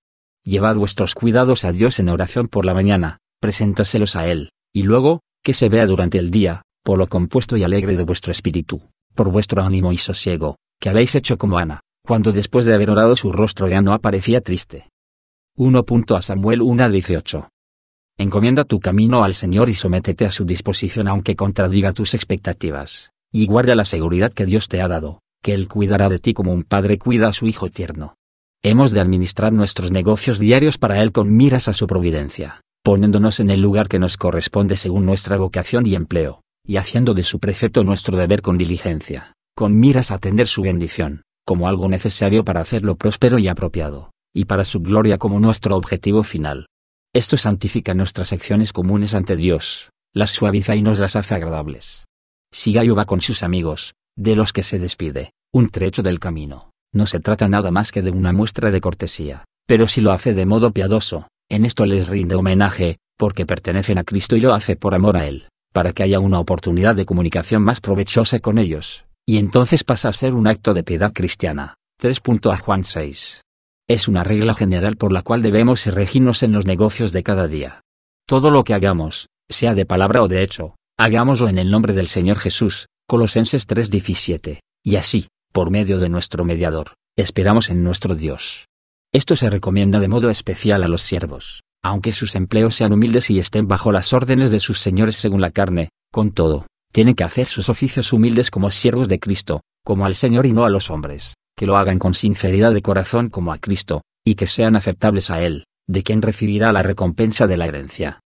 Efesios 6 2.5, 6, 7, 8, Colosenses 3:22, 24. Que esperen en Dios todo el día, cuando están haciendo su trabajo cotidiano, haciéndolo con fidelidad y a conciencia, para que puedan adornar la doctrina de Dios, nuestro Salvador, pensando en su gloria, incluso en las cosas ordinarias, trabajan para ganar el pan, y lo ganan para poder vivir, para que puedan vivir no para ellos mismos y agradarse, sino para que puedan vivir para Dios y agradarle. Trabajan para poder llenar el tiempo, y ocupar un lugar en el mundo, y porque Dios, que nos ha creado y nos mantiene, nos ha asignado que trabajáramos con quietud y nos ocupáramos de nuestras obligaciones. Hemos de recibir nuestra consolación y bienestar diario de Él, hemos de esperar en Él como nuestro benefactor, como los ojos de todas las criaturas esperan en Él para que les dé su comida en sazón, y lo que les da a ellos lo recogen. En Él esperamos para nuestro sustento diario, y a Él debemos pedírselo según se nos manda, aunque lo tengamos en nuestra casa, aunque esté encima de la mesa. Hemos de esperar en Él como un derecho del pacto para conseguir permiso para usarlo, para que sea bendecido, para que nos nutra, para que nos conforte. Es la palabra y la oración que esperamos en Dios y guardamos comunión con Él, y por medio de ellas, todo lo creado de Dios es santificado para nosotros. 1. A Timoteo 4 2.4 5. Y sus características y propiedades son cambiadas. Para el puro todo es puro, lo tienen por el pacto, no por la providencia común que hace que lo poco que tiene el justo sea mejor que las riquezas del malvado, y mucho más valioso y provechoso. No hay incentivo más poderoso para hacernos procurar que lo que tengamos lo consigamos honradamente y lo usemos con sobriedad y demos a Dios el mérito de ello, que esta consideración, que todo lo que tenemos procede de la mano de Dios y nos es confiado como a un mayordomo, y por lo tanto, tenemos que dar cuenta de ello. Si tenemos este pensamiento como un hilo de oro, que enlaza todas las comodidades del día, que nos hace ver que son dones de Dios, cada bocado, cada sorbo, cada resuello, y que cada paso que damos, todo, se lo debemos a su misericordia, esto nos guardará esperando continuamente en él, como la caballería en el pesebre espera en su amo, y nos causará un doble placer cuando disfrutemos de ello. Dios nos enviará sus misericordias renovadas, cada día, de la cantera de su compasión, nuevas cada mañana, y por tanto, no es una vez a la semana que esperamos en él, como los que van al mercado a adquirir provisiones para la semana, sino que tenemos que esperar en él cada día, para aquel día, como los que viven al día. Hemos de resistir nuestras tentaciones cotidianas y hacer nuestros deberes diarios en la fuerza de su gracia. Cada día acarrea sus tentaciones. Nuestro Maestro lo sabía cuando nos enseñó que tal como oramos para nuestro sustento diario, debemos también pedir que no seamos llevados a la tentación. No hay asunto del que nos ocupamos ni diversión de que participamos que no tengan sí sus trampas y acechanzas. Satán nos acecha en ellas, y se esfuerza para arrastrarnos al pecado. Ahora bien, el pecado es el gran mal del cual tendríamos que guardarnos constantemente, como hacía Nehemías, 6:13. Para hacerme temer así, y que pecase. Y no tenemos manera de asegurarnos contra ello sino esperando en Dios todo el día, no solo debemos ponernos bajo la protección de su gracia por la mañana, sino que hemos de permanecer bajo su cobijo, y debemos proseguir adelante solo dependiendo en esta gracia que se nos ha dicho será suficiente para nosotros, para que no seamos tentados más allá de lo que podamos resistir. Nuestro esperar en Dios nos proporciona los mejores argumentos de qué hacer uso para resistir las tentaciones con fuerza, según el día. Ser fuertes en el Señor y en la fuerza de su potencia, y entonces esperaremos en el Señor todo el día. Tenemos el deber y la oportunidad de hablar buenas palabras y hacer buenas obras, y hemos de darnos cuenta y confesar que no nos bastamos por nosotros mismos para hacer nada bueno, ni aun de tener un buen pensamiento. Por tanto, debemos esperar en el Señor para recibir la luz y el fuego, la sabiduría y el celo que nos son necesarios para cumplir con nuestro deber del día para que, por su gracia, podamos ser fortificados contra toda palabra y obra mala, y ser provistos de obras y palabras buenas. De la plenitud que hay en Jesucristo hemos de sacar constantemente, por fe, gracia sobre gracia, gracia para todos los ejercicios y actividades piadosas, gracia para tener ayuda en tiempo de necesidad. Hemos de esperar esta gracia, hemos de seguirla, cumplir con las operaciones de la misma y ser receptivos a la misma como la cera al sello hemos de llevar nuestras aflicciones diarias con sumisión a su voluntad. Tenemos que esperar tribulaciones en la carne, una cosa u otra que va a ocurrir que nos duela, algo en nuestras relaciones, sucesos referentes a la familia o amigos, o a la vocación, todo ello a causa de aflicción. Quizá tengamos cada día dolor corporal o enfermedad, o alguna cruz o contrariedad en nuestros asuntos. En todo ello hemos de esperar en Dios. Cristo requiere de todos sus discípulos que lleven su cruz cada día. Mateo 14:24 no nos hemos de cargar por nuestra propia decisión cruces sobre las espaldas, pero hemos de aceptarlas cuando Dios las pone ahí, y no tratar de evadir nuestro deber. No basta con llevar la cruz, hemos de cargárnosla, hemos de acomodarnos a ella y estar conformes con la voluntad de Dios en ella. No diciendo, esto es un mal y tengo que soportarlo, no puedo evitarlo, sino esto es un mal y lo llevaré porque esta es la voluntad de Dios. Hemos de considerar cada aflicción que nos viene de nuestro Padre Celestial, y, detrás de ella, la mano correctora, y por tanto, hemos de esperar en Él para conocer la causa que la ha motivado y la falta por la que somos disciplinados con aquella aflicción, para que podamos aprender de esta aflicción y con ello llegar a ser partícipes de su santidad. Hemos de prestar atención a todas las acciones de la providencia, tener la vista sobre nuestro Padre cuando frunce el ceño, para descubrir lo que piensa y qué pauta de obediencia hemos de aprender por las cosas que sufrimos. Hemos de esperar en Dios para que nos dé sostén para nuestras cargas. Hemos de ponernos en los brazos eternos y quedarnos en ellos, que están extendidos para los hijos de Dios cuando la vara de Dios los visita. Y hemos de esperar ser librados. No hemos de tratar de escabulimos por métodos pecaminosos ni buscar alivio en otras criaturas, sino esperar en el Señor hasta que tenga misericordia de nosotros, contentos con la carga hasta que Dios nos la quita y nos alivia en su misericordia. Salmo 123 2.2. Si la aflicción dura hemos de seguir esperando en Dios, aun cuando esconda su rostro, Isaías 8:17, esperando que solo sea un arranque de ira que dure un momento. Isaías 54 2.7, 8. Hemos de esperar las noticias y sucesos de cada día con una resignación animosa y total a la providencia divina. Mientras estamos en este mundo estamos esperando bienes y temiendo males. No sabemos lo que nos traerá un día o una noche. Proverbios 27 2.1. Pero nos traerá algo, y nosotros somos propensos a pensar en vano sobre cosas futuras, que acontecen de modo muy distinto a como nos las habíamos imaginado. Ahora bien, en todas nuestras perspectivas debemos esperar en Dios. Estamos esperando buenas noticias, un buen resultado de algo. Esperemos en Dios como al dador del bien que esperamos y estemos preparados para tomarlo de su mano y recibirlo con el afecto apropiado cuando viene a nosotros en el camino de la misericordia. Cuando esperamos algún bien, es sólo de la bondad, poder y sabiduría de Dios que debemos esperarlo. Y por tanto nuestras esperanzas deben ser humildes y sencillas y reguladas por su voluntad. Lo que Dios nos ha prometido es lo que podemos prometernos a nosotros mismos, y no más. Si esperamos así en Dios, en todas nuestras esperanzas, en caso de que se demoren, no nos quebrantaría el corazón, aunque sufra una decepción, porque el Dios en que esperamos va a hacer que al final redunde todo para nuestro bien, pero cuando se cumple el deseo para conseguir el cual hemos estado esperando en el Señor, vemos que viene de su amor, y será árbol de vida. Proverbios 13:12. Tememos recibir malas noticias, sucesos penosos y un resultado desagradable de un asunto pendiente? Esperemos en Dios para que nos libre de todos nuestros temores, de las cosas que tememos y de los temores mismos.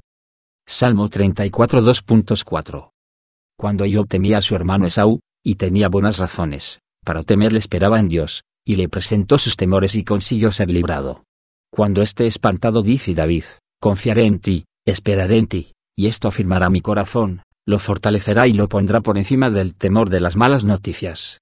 Si estamos en suspense, entre temor y esperanza, prevaleciendo a veces la una, a veces la otra, esperemos en Dios, ya que es a Dios a quien pertenecen las cuestiones de vida o muerte, de bien y mal, de él procede nuestro juicio y el de todo hombre, y tranquilicémonos en una sosegada expectativa del suceso, sea el que sea, con la decisión de acomodarnos al mismo, espera lo mejor, y prepárate para lo peor, y luego, acepta lo que Dios te envía. Aplicación práctica Primero permitidme que insista en este deber de esperar en Dios todo el día, en algunos casos particulares más, según lo que tengáis que hacer durante el día, en los asuntos ordinarios del mismo. Somos débiles y olvidadizos y necesitamos que se nos recuerde nuestro deber, en general, en toda ocasión para hacerlo, y por tanto, deseo ser un poco particular, y así recordároslo. Cuando te reúnes con tu familia por la mañana espera en Dios para que te dé una bendición sobre ellos y preséntale una acción de gracias por las misericordias que vosotros y los vuestros habéis recibido conjuntamente durante la noche pasada. Tú y tu casa tenéis que servir al Señor. Ve que es por su bondad, de aquel que es el Padre de las familias de los justos, que estáis juntos, que la voz de gozo y salvación está en vuestras tiendas, y por tanto, espera en Él para que podáis continuar juntos, para que podáis corroboraros el uno al otro, para capacitaros a hacer el deber de toda relación, y prolongar los días de vuestra tranquilidad en toda la conversación que tenemos con nuestras familias, la provisión que hacemos por ellas y las órdenes que damos respecto a las mismas, hemos de esperar en Dios, como al Dios de todas las familias de Israel. Jeremías 31 2.1 Y tengamos la mira puesta en Cristo, puesto que en Él son bendecidas todas las familias de la tierra. Cada miembro de la familia que participa en las misericordias familiares debe esperar en Dios para recibir la gracia, a fin de contribuir a los deberes de la familia aunque haya desavenencias en las relaciones familiares, y en vez de tener el espíritu cargado por ella, que sea un incentivo a esperar en Dios, el cual puede o bien enderezar el agravio o compensarlo, dándonos la gracia para aguantarlo. Cuando estás procurando educar a tus hijos o a otros que haya bajo tu cargo, espera en Dios y su gracia para que ésta haga el proceso educativo próspero y provechoso. Cuando les instruyes respecto a cosas de la vida o de la piedad, su vocación general o particular, cuando los envíes a la escuela por la mañana o les mandas respeto a algún asunto durante el día, esperan Dios para que les dé conocimiento y buena capacidad para sus negocios. De un modo especial, su negocio principal, porque es Dios quien da sabiduría. Si son lentos, que esperen en Dios para que los saque adelante y les dé su gracia a tiempo, y mientras estás esperando con paciencia en Él, esto te estimulará a esforzarte con ellos, y asimismo te hará paciente y manso. Y que los niños y los jóvenes esperen en Dios, en todos sus esfuerzos diarios, para estar equipados para el servicio de Dios en su generación. Tú deseas ser un consuelo para los tuyos, ser bueno para algo en este mundo. Le pides a Dios que te dé un corazón sabio y entendido, como hizo Salomón, y esperas en él todo el día, para que puedas todavía crecer en sabiduría como lo haces en estatura, y en favor de Dios y de los hombres. Cuando te dedicas a tus negocios o profesión propios, espera en Dios para tener su presencia contigo. Tus negocios requieren tu atención constante, cada día, y todo el día, pero tu atención a Dios en tus actividades diarias ha de ser tan constante como la que das a tus deberes. Considera la providencia de Dios en toda clase de ocurrencias. Si tienes una tienda, la abres por la mañana con este pensamiento. Ahora estoy a punto de hacer mi deber y dependo de Dios para que me bendiga en él. Cuando estás esperando clientes, espera en Dios para que te dé algo para hacer por él en la vocación u oficio al que te ha llamado. Aquellos que tú consideras clientes casuales, más bien deberías llamar clientes providenciales y considerar que el Señor te los trajo. Cuando compres y vendas, ve la mirada de Dios que te está observando, por si eres honrado en tus tratos y no perjudicas a los que los tienen contigo, y está alerta, esperando, porque Dios instruye no solo al que trabaja la tierra, sino al comerciante. Isaías 28 2.26. Espera la prudencia que dirige el camino, y con la cual se le promete al hombre bueno que pondrá en orden sus asuntos, espera su bendición, que es la que enriquece y no añade tristeza con ella, la ganancia moderada y legal, que se puede esperar como resultado de la actividad diligente y honrada. Cualquiera que sea tu oficio y ocupación en los negocios de la nación, ciudad, el mar, la casa.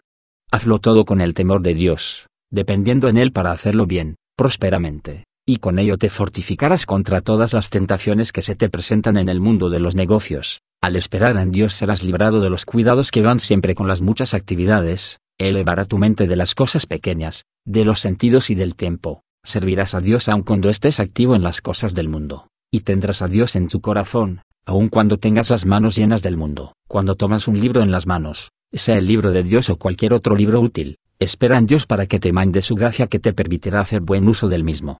Algunos pasan mucho tiempo cada día leyendo, y deseo que ninguno de vosotros deje pasar el día sin leer algunas porciones de la Escritura, sea solo o con la familia. Procura que el tiempo que dedicas a leer no sea perdido, lo es si lees lo que es ocioso, vacío y vano, incluso si lees la palabra de Dios misma y no prestas atención, para ponerla por obra, o procurar que te sea de algún beneficio. Espera en Dios, que nos da ayuda para nuestro lema, para hacerla más útil para ti. El eunuco etíope hizo eso, cuando estaba leyendo en el libro del profeta Isaías en su carro, y en realidad Dios le envió a uno que podía entender lo que leía.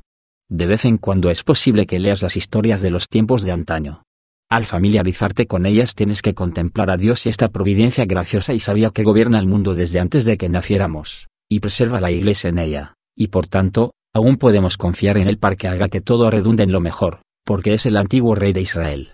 Cuando te sientas a la mesa, espera en Dios. Mira su mano que dispone y prepara la mesa delante de ti, a pesar de tus enemigos o en la sociedad de tus enemigos. Revisa con frecuencia la confesión que Dios hizo a nuestro primer padre Adán, y en él a todos nosotros, de los productos de la tierra. Génesis 1.29. Mira, yo te he dado toda planta que lleva semilla, pan de trigo, de modo especial. Y la concesión que más adelante fue hecha a Noé, nuestro segundo padre, y en él a nosotros. Génesis 9.2.3. Todo lo que se mueve y vive será comida, incluso las hierbas verdes, y procura ver en ellas cuán generoso benefactor es para la humanidad, que espera en él en consecuencia. Hemos de comer y beber de modo que sea para la gloria de Dios, y esperamos en Él en nuestra comida y bebida. Hemos de recibir nutrición para nuestros cuerpos, a fin de que estemos equipados para servir a nuestras almas en el servicio de Dios, para su honor en este mundo. Hemos de disfrutar del amor del pacto en las misericordias corrientes, y gozarnos del Creador en tanto que usamos lo creado. Hemos de depender de la palabra de bendición de la boca de Dios para que el alimento nos nutra. Y si nuestras provisiones son escasas hemos de compensar su falta con la fe en la promesa de Dios, y regocijarnos en Él, como al Dios de nuestra salvación, aunque la higuera no florezca y no haya fruto en la vid. Cuando visitas a tus amigos o recibes sus visitas, espera en Dios, séle agradecido por tus amigos y conocidos, de los que recibes consolación. Agradece que tu habitación no sea el desierto o un lugar solitario, que tengas comodidades no solo en tus casas, sino también el solaz de tus vecinos, con los cuales eres libre de poder conversar, y que no eres expulsado de entre los hombres y hecho una carga y terror a los que te rodean. Que tienes vestidos no solo para la necesidad sino para adornarte con decoro, lo cual es una misericordia, y de la cual no nos hemos de jactar, sino que hemos de tomar nota que viene de él. Te atavié con adornos y puse brazaletes en tus brazos y collar en tu cuello, dice Ezequiel. De que tengas casas, muebles, diversiones, no solo para los tuyos, sino también los amigos, lo cual es una merced que hay que reconocer a Dios. Y cuando estamos en compañía de otros, hemos de esperar en Dios para comportarnos con sabiduría, de modo que podamos hacer mucho bien aquellos con quienes conversamos, y no mal. Espera de Dios la gracia con que nuestra conversación ha de estar sazonada, por medio de la cual es eliminada y prevenida toda comunicación impropia, y puedas abundar en lo que es bueno, y usarlo para la edificación, para que dé gracia a los oyentes, para que tus labios puedan alimentar a muchos.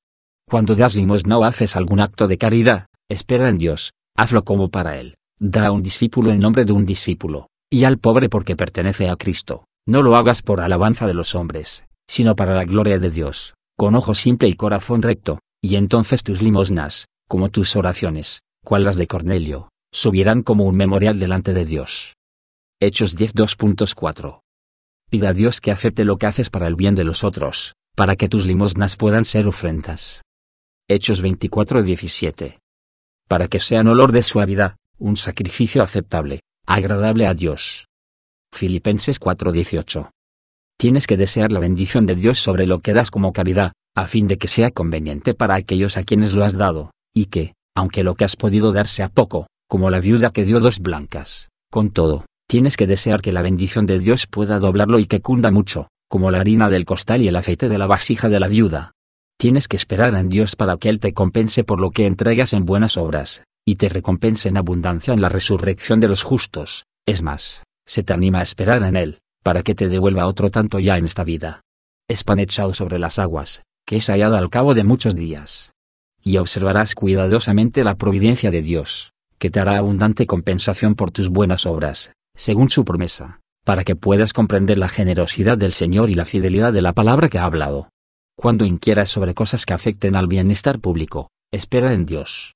Hazlo siempre mirando a Él, por esta razón, que tú estás sinceramente interesado en los asuntos de este reino y del mundo, y los tienes cerca de tu corazón, porque tienes compasión de la humanidad, por las vidas almas de los hombres, y especialmente por el pueblo de Dios. Pregunta, ¿qué noticias? No como los atenienses, solo para satisfacer su curiosidad, para pasar una hora ociosa o dos, sino para que puedas saber cómo dirigir tus oraciones y alabanza, y cómo equilibrar tus esperanzas y temores, y cómo ganar una comprensión tal de los tiempos que puedas saber qué es lo que tú y los otros tenéis que hacer. En lo que se refiere a los asuntos públicos, si son agradables y prometedores, espera en el Señor para que en Él perfecciones su obra, y no dependas de tu sabiduría o la fuerza de ningún medio, si son oscuros y desconsoladores, espera en Dios para prevenir los temores de su pueblo, y que Él aparezca para hacerse cargo cuando la fuerza de ellos está agotada. En medio de los más grandes triunfos de la Iglesia y las sonrisas optimistas de los hechos, no hemos de creer innecesario el esperar en Dios, y en medio de los mayores desastres, cuando los asuntos han sido llevados a un extremo, no hemos de creer inútil el esperar en Dios, porque las criaturas no pueden pasarse sin Él, y Él puede ayudarlas aunque ellas no hagan nada. Cuando vayas de viaje, Espera en Dios, ponte bajo su protección, encomiéndate a su cuidado y confía en que Él pondrá a sus ángeles a cargo de ti, para que te lleven en sus brazos y acampen sus tiendas alrededor de ti cuando tú descanses. Mira hasta qué punto estás en deuda con la providencia por sus bondades respecto a las comodidades y conveniencias de que estás rodeado cuando viajas. Él es quien te ha puesto en el país en que vives y no en el desierto de Arabia, sino en un lugar con carreteras seguras y transitadas, y que, en medio de los terrores de la guerra, las carreteras están libres, a él le debes que se te preste servicio, y que cuando salgas y entres seas preservado, que cuando estás en el extranjero no estés desterrado, sino que tienes libertad para regresar a tu país, y que cuando estás en tu país no estás confinado, sino que tienes libertad para ir al extranjero. Por tanto, debemos mantener nuestros ojos fijos en Dios cuando partimos y para que Él venga con nosotros donde vayamos, bajo su cobijo podemos viajar, confiando en que cuida de nosotros y animarnos con la idea de que en todos los peligros está con nosotros, y a nuestro regreso debemos reconocer su bondad, y nuestros huesos deben decir, Señor, ¿quién es como tú, que guardas nuestros huesos y ninguno de ellos ha sido quebrado? Cuando nos retiramos a la soledad para estar solos, andando en los campos, o nos quedamos en nuestro aposento, debemos esperar en Dios, todavía debemos mantener nuestra comunión con Él, cuando estamos a solas con nuestros corazones. Cuando estamos solos no hemos de estar solos, sino que el Padre debe estar con nosotros y nosotros con Él. Hallaremos tentaciones incluso en la soledad, de las que necesitamos ser preservados. Satán acechó a nuestro Salvador cuando estaba solo en el desierto, pero ahí tenemos también la oportunidad, si sabemos cómo usarla, para la contemplación divina devota, que es la mejor conducta, de manera que nunca estamos menos solos que cuando estamos solos. Si cuando estamos solos y en silencio, aislados del bullicio y la conversación tenemos la gracia de llenar aquellos minutos vacíos con meditaciones piadosas sobre Dios y las cosas divinas, recogeremos los fragmentos de tiempo que quedan, de modo que no se pierda nada, y así nos hallaremos esperando en Dios todo el día. En segundo lugar, dejadme usar algunos argumentos para persuadiros de que viváis una vida de comunión con Dios, esperando en Él todo el día. Considera que los ojos de Dios están constantemente sobre ti. Cuando estamos con nuestros superiores y observamos que nos miran, esto nos mueve a mirarles a ellos. Y no miraremos a Dios, cuyos ojos nos están contemplando siempre y cuyos párpados prueban a los hijos de los hombres. Él ve los movimientos de nuestro corazón y ve con placer los movimientos de los corazones hacia Él, que deberían instarnos a ponerle a Él siempre delante de nosotros. El siervo, aunque sea descuidado en otras ocasiones, cuando está bajo el ojo del amo se hallará en su lugar, cumpliendo con su deber, no necesitamos más para convencernos de ser dirigentes y para hacer nuestro trabajo con celo que el que el amo nos mire, y entonces nunca nos distraemos. El Dios en que esperas es un Dios con el que tienes cuentas pendientes. Hebreos 4:13. Todas las cosas, incluso los pensamientos y los intentos del corazón, están descubiertas ante los ojos de aquel con quien tenemos tratos, con quien tenemos que ver, con quien tenemos palabras, que tiene algo que decirnos, o, como algunos lo leen, con quien tenemos cuentas, hay una cuenta entre nosotros y Él y se refiere a todo lo que hacemos cada día. Tiene que ver con esta cuenta entre Él y nosotros para que sea hecho en la sangre de Cristo, que es quien salda la cuenta. Si consideramos cuánto dedicamos a Dios cada día tendríamos más diligencia y cuidado en la forma en que esperamos en Él.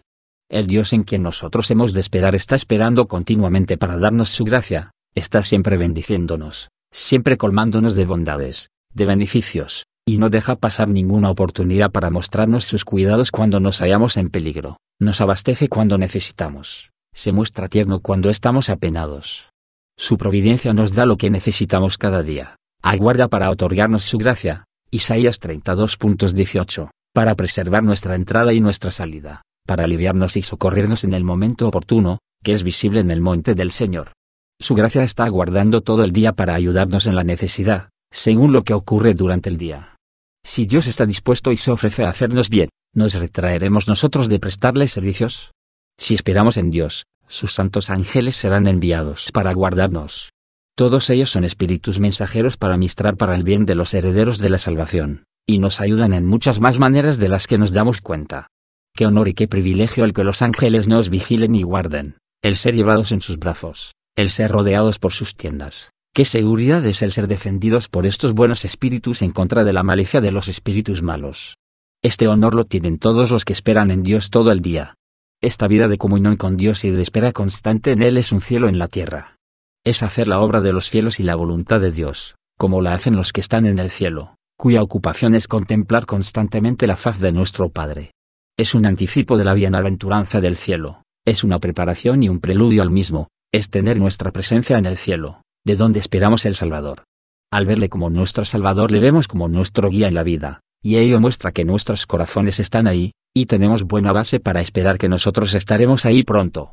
En tercer lugar, y para terminar, vamos a considerar algunas cosas que tenéis que hacer para que podáis esperar a Dios todo el día.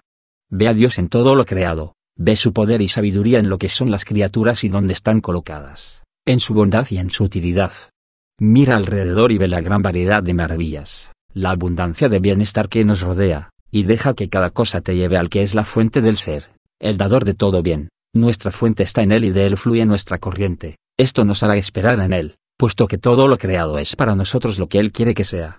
Así, las mismas cosas que apartan a un corazón carnal de Dios serán las que nos atraerán a él, y como todas sus obras le alaban, sus santos tendrán en adelante ocasión continua de bendecirle. Se dice que los judíos devotos de antaño tenían la costumbre de dar la gloria a Dios por todo aquello en que se deleitaban. Cuando olían una flor se dice que bendecían al que había hecho su fragancia, si comían un pedazo de pan, bendecían al que había puesto en el poder para darnos fuerza. Si en todo vemos la gracia del Señor y saboreamos la satisfacción de su abundancia, nos sentiremos constantemente empujados a depender de Él, como el niño se abraza al pecho de su madre y se nutre de Él. Ve que la criatura no es nada sin Dios, cuanto más nos damos cuenta de la vanidad y vacío del mundo, y de nuestros goces en él, y su incapacidad total para hacernos felices, más nos unimos a Dios, y más íntimamente estamos en tratos con Él para poder hallar satisfacción en el Padre de los Espíritus, a quien hemos buscado en vano en las cosas de los sentidos. qué locura es el cortejar a las criaturas, hacer antesala a su puerta, de donde seremos enviados con las manos vacías, cuando podemos acudir al mismo Creador, el cual es rico en misericordia para con todos los que le invocan, lleno, rico, gratuito, fiel. ¿Qué podemos esperar de la vanidad?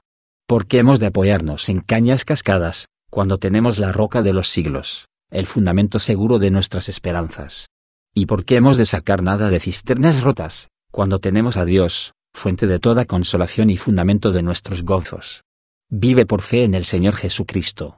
No podemos con confianza esperar en Dios si no es por medio de un mediador, porque es a través de su Hijo que Dios nos habla y nos escucha. Todo lo que pasa entre un justo Dios y los pobres pecadores tiene que pasar por las manos de Jesús, que nos pone en contacto. Es en la faz del ungido que Dios nos mira, y en la faz de Jesús contemplamos la gloria y gracia de Dios. Es por medio de Cristo que tenemos acceso a Dios, y nuestras oraciones son escuchadas, y por tanto, tenemos que hacer mención de su justicia, y solo de ella, y en esta espera habitual hemos de estar todo el día viviendo en Dios, dependiendo de Él, que siempre aparece en la presencia de Dios por nosotros, siempre está dispuesto a presentarnos a Él.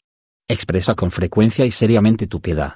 Al esperar en Dios hemos de hablarle con frecuencia, hemos de usar toda clase de ocasiones para hablarle, y cuando no tengamos oportunidad de dirigirnos solemnemente a Él, aceptará nuestra comunicación improvisada y espontánea por proceder de un corazón sincero. En esto David esperaba en Dios todo el día, como vemos en el versículo 1, a ti, oh, Jehová, levantaré mi alma, Dios mío, en ti confío. A ti me dirigiré en tanto que respire. Deberíamos pedir brevemente perdón por nuestros pecados, en lo que se llamaba antes jaculatorias, fuerza contra corrupción, victoria contra la tentación, y no lo haremos en vano. Esto es lo que podemos llamar orar sin cesar, orar siempre, no es la longitud de las palabras de la oración lo que Dios mira, sino la sinceridad del corazón, y ésta será aceptada, aunque la oración sea corta y los gemidos no puedan ser oídos. Espera Dios cada día, como si el día en que estás pudiera ser el último, que no lo sabes. En el momento menos pensado puede venir el Hijo del Hombre, y por tanto, no podemos estar seguros ninguna mañana de que vamos a vivir hasta la noche de aquel día. Sabemos de muchos que han sido arrebatados de repente, lo cual nos dice cuán santa debería ser nuestra conducta y nuestra piedad. Aunque no podemos decirlo, tenemos que vivir como si supiéramos que el día que hemos empezado hubiera de ser el último, y además, porque no sabemos el día en que vendrá el Señor y, por tanto, estamos en necesidad de esperar en Él. ¿En quién tienen que esperar las criaturas mortales sino en un Dios vivo? La muerte nos llevará a todos a Dios para ser juzgados por Él, llevará a todos sus santos a Él para verle y gozar de Él, a Él nos apresuramos, con Él esperamos estar para siempre, por lo que hemos de cultivar nuestros tratos con Él. Si pensáramos más en la muerte entraríamos en conversación más frecuente con Dios. Nuestro morir diario es una buena razón para adorarle a diario y, por tanto, doquiera que estemos, procuremos estar cerca de Dios, porque no sabemos dónde nos encontraremos con la muerte. Enoch andaba con Dios y fue transportado al cielo sin morir, y esto nos proporcionará lo que permanecerá con nosotros en el otro lado de la muerte y de la tumba. Si seguimos esperando en Dios cada día y todo el día, aumentará nuestra experiencia, y por tanto, estaremos más familiarizados con el gran misterio de la comunión con Dios, y así nuestros últimos días serán los mejores, nuestras últimas obras serán las mejores, y nuestro consuelo será dulce. En consideración a ello tomamos el consejo del apóstol, Oseas 12:16. Tú, pues, vuélvete a tu Dios, guarda misericordia y juicio, y espera siempre en tu Dios. Mensaje 3. En que se muestra cómo terminar el día con Dios. En paz me acostaré, y asimismo dormiré, porque solo tú, Jehová, me haces vivir confiado. Salmo 4.2.8. Esto puede ser entendido, de modo figurado, del reposo del alma en la seguridad de la gracia de Dios, o literalmente, del reposo del cuerpo bajo la protección de la providencia. Me gusta dar amplitud a la interpretación de la escritura y, por tanto, creo que las dos son válidas. El salmista, después de haber dado preferencia al favor de Dios sobre todo otro bien, hecha su elección y tomada su porción, expresa aquí su complacencia en lo que ha decidido, en tanto que ve a muchos inquietos inquiriendo constantemente, ¿quién nos mostrará el bien? David sigue diciéndose, estos se preocupan de cosas vanas. En tanto, él se halla en completa paz y seguridad, ha tomado su parte con la voluntad divina, y el Señor mostrará la luz de su rostro a los suyos, ningún bien, aparte del favor de Dios, puede servirnos de nada, pero basta con él, sin necesidad de las sonrisas del mundo. La luna y las estrellas, con todos los fuegos y velas encendidos en el mundo, no hacen que sea de día si no da el sol, pero el sol se basta, sin necesidad de los otros. Los santos en todas partes están de acuerdo con los sentimientos que expresó David. No hallando descanso en parte alguna, la paloma del arca regresó a la misma arca, este es el tipo de Cristo, volviendo a su descanso, porque este es el significado del nombre Noé, descanso. Recobra, oh, alma mía, tu calma. Salmo 116 2.7 Si Dios levanta la luz de su rostro sobre nosotros, al llenarnos de su santo gozo, nos pone su contento en el corazón, más que los que tienen abundancia de mosto y de grano. Versículo 7. Él nos lleva a un santo descanso, y ahora me acostaré y dormiré. Dios es mi Dios y yo me siento complacido, satisfecho, no busco más, no deseo más, estoy seguro, y estoy confiado, cuando ando a la luz del Señor no necesito nada, no temo nada, no me falta nada, no tengo aprensión de ningún peligro. El Señor es mi sol y mi escudo, un sol que ilumina y conforta, un escudo que protege y defiende. Así pues, sabe que los que cuentan con la seguridad del favor de Dios pueden gozar y obtener una santa serenidad y la tranquilidad de la mente. Tenemos las dos en esta preciosa promesa. Isaías 32 2.17, y el resultado de la justicia será la paz, y el producto de la rectitud, tranquilidad y seguridad para siempre. La obra de la justicia será la paz, y hay una satisfacción presente en hacer el bien, el efecto de la justicia será la tranquilidad y la seguridad para siempre, tranquilidad en el goce del bien, y seguridad al ser librado del mal. El bendito fruto del favor de Dios es una santa serenidad, en paz me acostaré y dormiré. Cuando estamos bajo el ceño de Dios o en duda respecto a su favor, ¿cómo podemos tener goce alguno? Mientras este punto está pendiente, el alma no puede estar satisfecha. ¿Tienes alguna controversia con Dios? No des sueño a tus ojos ni dejes caer los párpados sobre ellos hasta que hayas puesto fin a la discrepancia. Humíllate y vuelve a la amistad de tu mejor amigo, y cuando hayas hecho las paces con él y tengas la evidencia confortadora de que eres aceptado, entonces di con prudencia y justicia lo que dijo el alma carnal y necia, alma, tienes muchos bienes en reserva para muchos años. Lucas 12:19.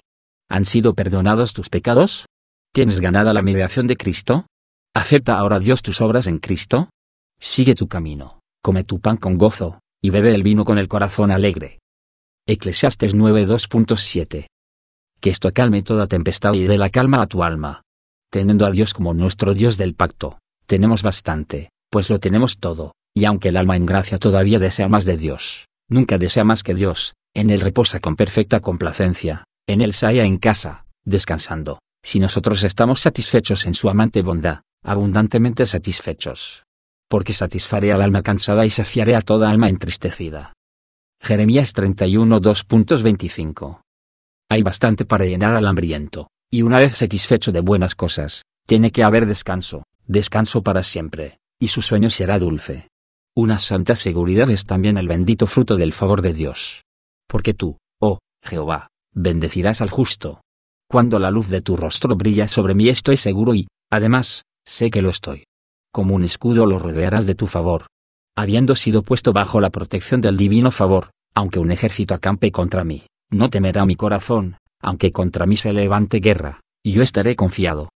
Salmo 27 2.3 Lo que Dios me ha prometido puedo prometérmelo a mí mismo y esto basta para llevarme incólume a través de todas las dificultades y peligros que pueda encontrar en el camino de mi deber. Aunque la tierra sea removida, no temeremos, aunque se traspasen los montes al corazón de la mar. Salmo 46 2.2 No temeremos ni en el valle de sombra de muerte, en el territorio del rey de los terrores, porque tú estarás conmigo, tu vara y tu callado me infundirán aliento. Torreón fuerte es el nombre de Jehová, a él se acogerá el justo, y estará a salvo. Proverbios 18, 11, 12. Todo esto es Dios para el justo. El poderoso será tu tesoro y tu defensa. Yo 22, 25. No hay nada más peligroso que la seguridad en un camino pecaminoso, y que los hombres proclamen paz, paz entre sí, mientras continúan bajo el poder de una mente vana y carnal, si los pecadores que se sienten tranquilos y seguros empezaran a temblar. No hay nada más insensato que fundar uno su seguridad en el mundo, en sus promesas, porque todas ellas son vanidad y mentira, pero nada más razonable en sí mismo, y tan ventajoso para nosotros, como que las personas buenas edifiquen su seguridad en las promesas de un buen Dios, a saber, los que se mantienen en el sendero del deber, para estar tranquilos del temor del mal, así como a los que no hacen el mal no les acontecerá nada realmente malo sino que todas las cosas redundarán en su bien, a los que siguen fieles a Dios como su Rey, están bajo la protección del Omnipotente, que les permite desafiar a los poderes del mal. Si Dios es con nosotros, ¿quién será contra nosotros? Esta seguridad es la que los paganos consideraban que las personas virtuosas merecían, esto es, y pensaban que si el mundo tenía que saltar en pedazos, el justo no tenía por qué participar en la ruina, con mucha más razón los cristianos que están firmes en su integridad pueden reclamar esta garantía, porque, ¿quién es el que dañará a los que siguen a aquel que es bueno en su bondad? Ahora bien, el privilegio de los buenos es que estén tranquilos y satisfechos. Esta santa serenidad y seguridad de la mente la poseen porque Dios les permite estar tranquilos y animosos. Es más, se les ha prometido que Dios hablará paz a su pueblo y a sus santos. Él los llenará de gozo y paz al creer, su paz guardará su corazón y su mente, los guardará seguros y tranquilos. Hay un método designado para obtener esta serenidad y seguridad prometidas. Las escrituras han sido escritas para ellos, para que su gozo sea pleno, y que por medio de la paciencia y el consuelo de ellas puedan tener esperanza. Las ordenanzas o sacramentos han sido instituidos para ser pozos de salvación de los cuales podamos sacar agua con gozo. Los ministros han sido ordenados para ser consoladores y ayudar en el gozo. Por lo cual, queriendo Dios mostrar más abundantemente a los herederos de la promesa la inmutabilidad de su designio, interpuso juramento, para que por medio de dos cosas inmutables, en las cuales es imposible que Dios mienta, tengamos un fuerte consuelo los que nos hemos refugiado para asirnos de la esperanza puesta delante de nosotros. Hebreos 6 17, 18. El salmista, terminando el trabajo del día, y probablemente cansado por el mismo, siendo ya la hora de acostarse y habiendo dado buenos consejos a aquellos a quienes deseaba una buena noche para que comunicaran con su propio corazón en la cama, y que ofrecieran sacrificios de justicia. Versículos 4, 5. Se retira ahora a su cámara con estas palabras, en paz me acostaré, y asimismo dormiré. El propósito por el que he escogido este texto me conduce a entenderlo literalmente, como los discípulos entendieron al Maestro cuando dijo, Lázaro duerme, que descansaba en el sueño. Juan 11 12, 13. Y así tenemos aquí el pensamiento piadoso de David, cuando se va a la cama, del mismo modo que cuando me despierto todavía estás conmigo, también cuando me acuesto todavía estás conmigo. El día concluye tal como había empezado, con meditaciones sobre Dios y en dulce comunión con Él.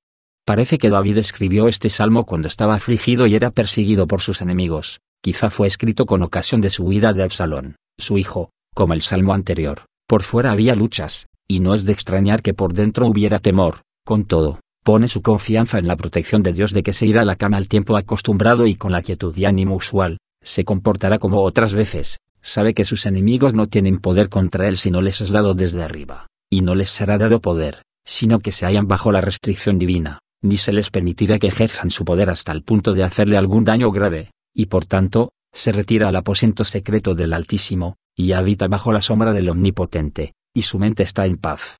Lo que puede partir el corazón de un hombre del mundo no puede tocar el sueño de un hombre piadoso.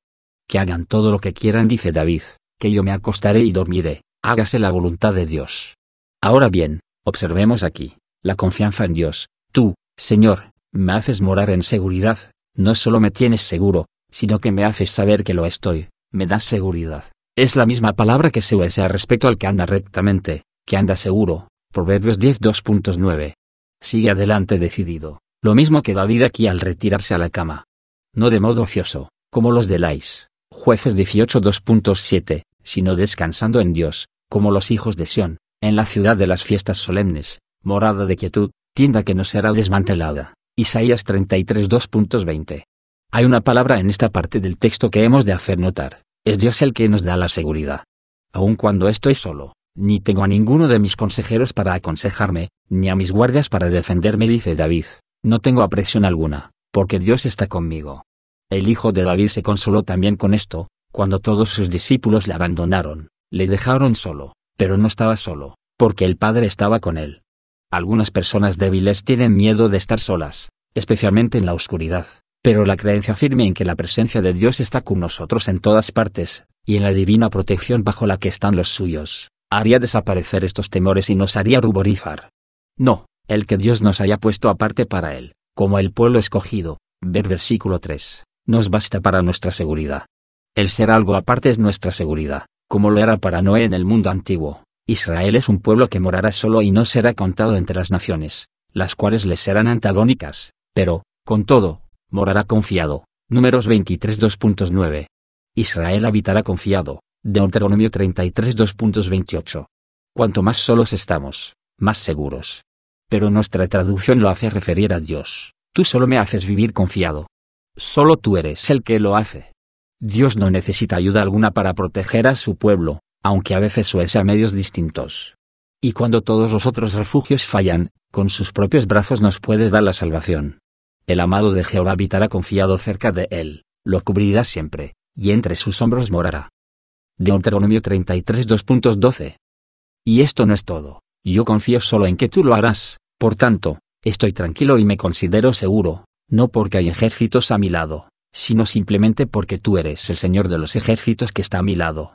Tú me haces morar en seguridad, esto puede considerarse hacia atrás o hacia adelante, o los dos, tú me has hecho morar en seguridad todo el día, de modo que el sol no me ha herido de día, lo que es el lenguaje de agradecimiento por las mercedes recibidas, o tú me harás descansar en seguridad toda la noche, de modo que la luna no me hiera con su rayo durante la noche, y este es el lenguaje de la dependencia en Dios para mercedes futuras, y ambos casos van juntos, y nuestros ojos deben seguir puestos en Dios, como siempre, antes y después, el cual nos ha libertado en el pasado y lo hará en el futuro.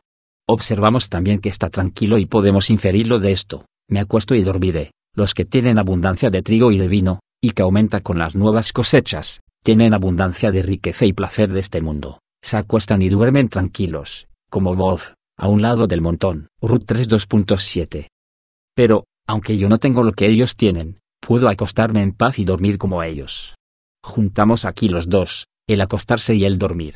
No solo me acostaré, sino que también dormiré. De la misma forma que hemos de empezar el día con Dios y esperar en Él todo el día, también hemos de procurar terminarlo con Él. Este deber de terminar el día con Dios y en buen espíritu, no creo que pueda ser demostrado mejor que entrando en los detalles del texto, y recomendando seguir el ejemplo de David. Primero, Retirémonos para acostarnos. La naturaleza nos llama para el descanso como para el alimento. El hombre va a su trabajo y se desplaza activamente durante el mismo, pero solo hasta la noche. Entonces llega el momento de acostarse. Leemos Disboset que estaba durmiendo la siesta al mediodía. Segunda. Samuel 4 2.5, 6. Y la muerte le alcanzó mientras dormía, y también de David, que al caer de la tarde, salió de su lecho y se metió en un pecado peor que la muerte. 1 Samuel 11 2.2. Hemos de trabajar durante el día para hacer la obra que nos ha sido mandada, porque viene la noche, en la cual el hombre no trabaja, y este es el momento apropiado para acostarse. Esto nos ha sido prometido, Sofonías 2.2.7. Se acostarán por la noche y con esta promesa hemos de considerar que la noche es el momento apropiado para el descanso, y no hemos de hacer del día noche y de la noche día, como algunos intentan hacer. Algunos se levantan para maquinar contra sus vecinos, para matar, robar y destruir, en la oscuridad miran las casas que de día para sí señalaron, yo 24:16. David se queja de sus enemigos de que por la noche rondan por la ciudad, Salmo 59 2.6. Los que obran mal aborrecen la luz. Judas, el traidor, fue a buscar a su maestro, con su pandilla, cuando tenía que haberse retirado a la cama. En Proverbios 4:16 se nos habla de los que no duermen si no obran el mal, y pierden el sueño si no han hecho caer a alguno. Otros maquinan en sus afanes de conquistar el mundo y sus riquezas. No solo se levantan de madrugada, sino que retrasan el descanso, para conseguir ejecutar sus planes. Salmo 127 2.2. Y no tienen inconveniente en negarse el sueño necesario, y esta es su locura, pues se privan de aquello de que pueden disfrutar, con miras a obtener más. Salomón habla de aquellos que ni de día ni de noche ven sueño en sus ojos. Eclesiastes 8:16 con miras a adquirir sabiduría y ver todas las cosas que se hacen sobre la tierra. Lo cual se nos dice no es más que vanidad y aflicción de espíritu.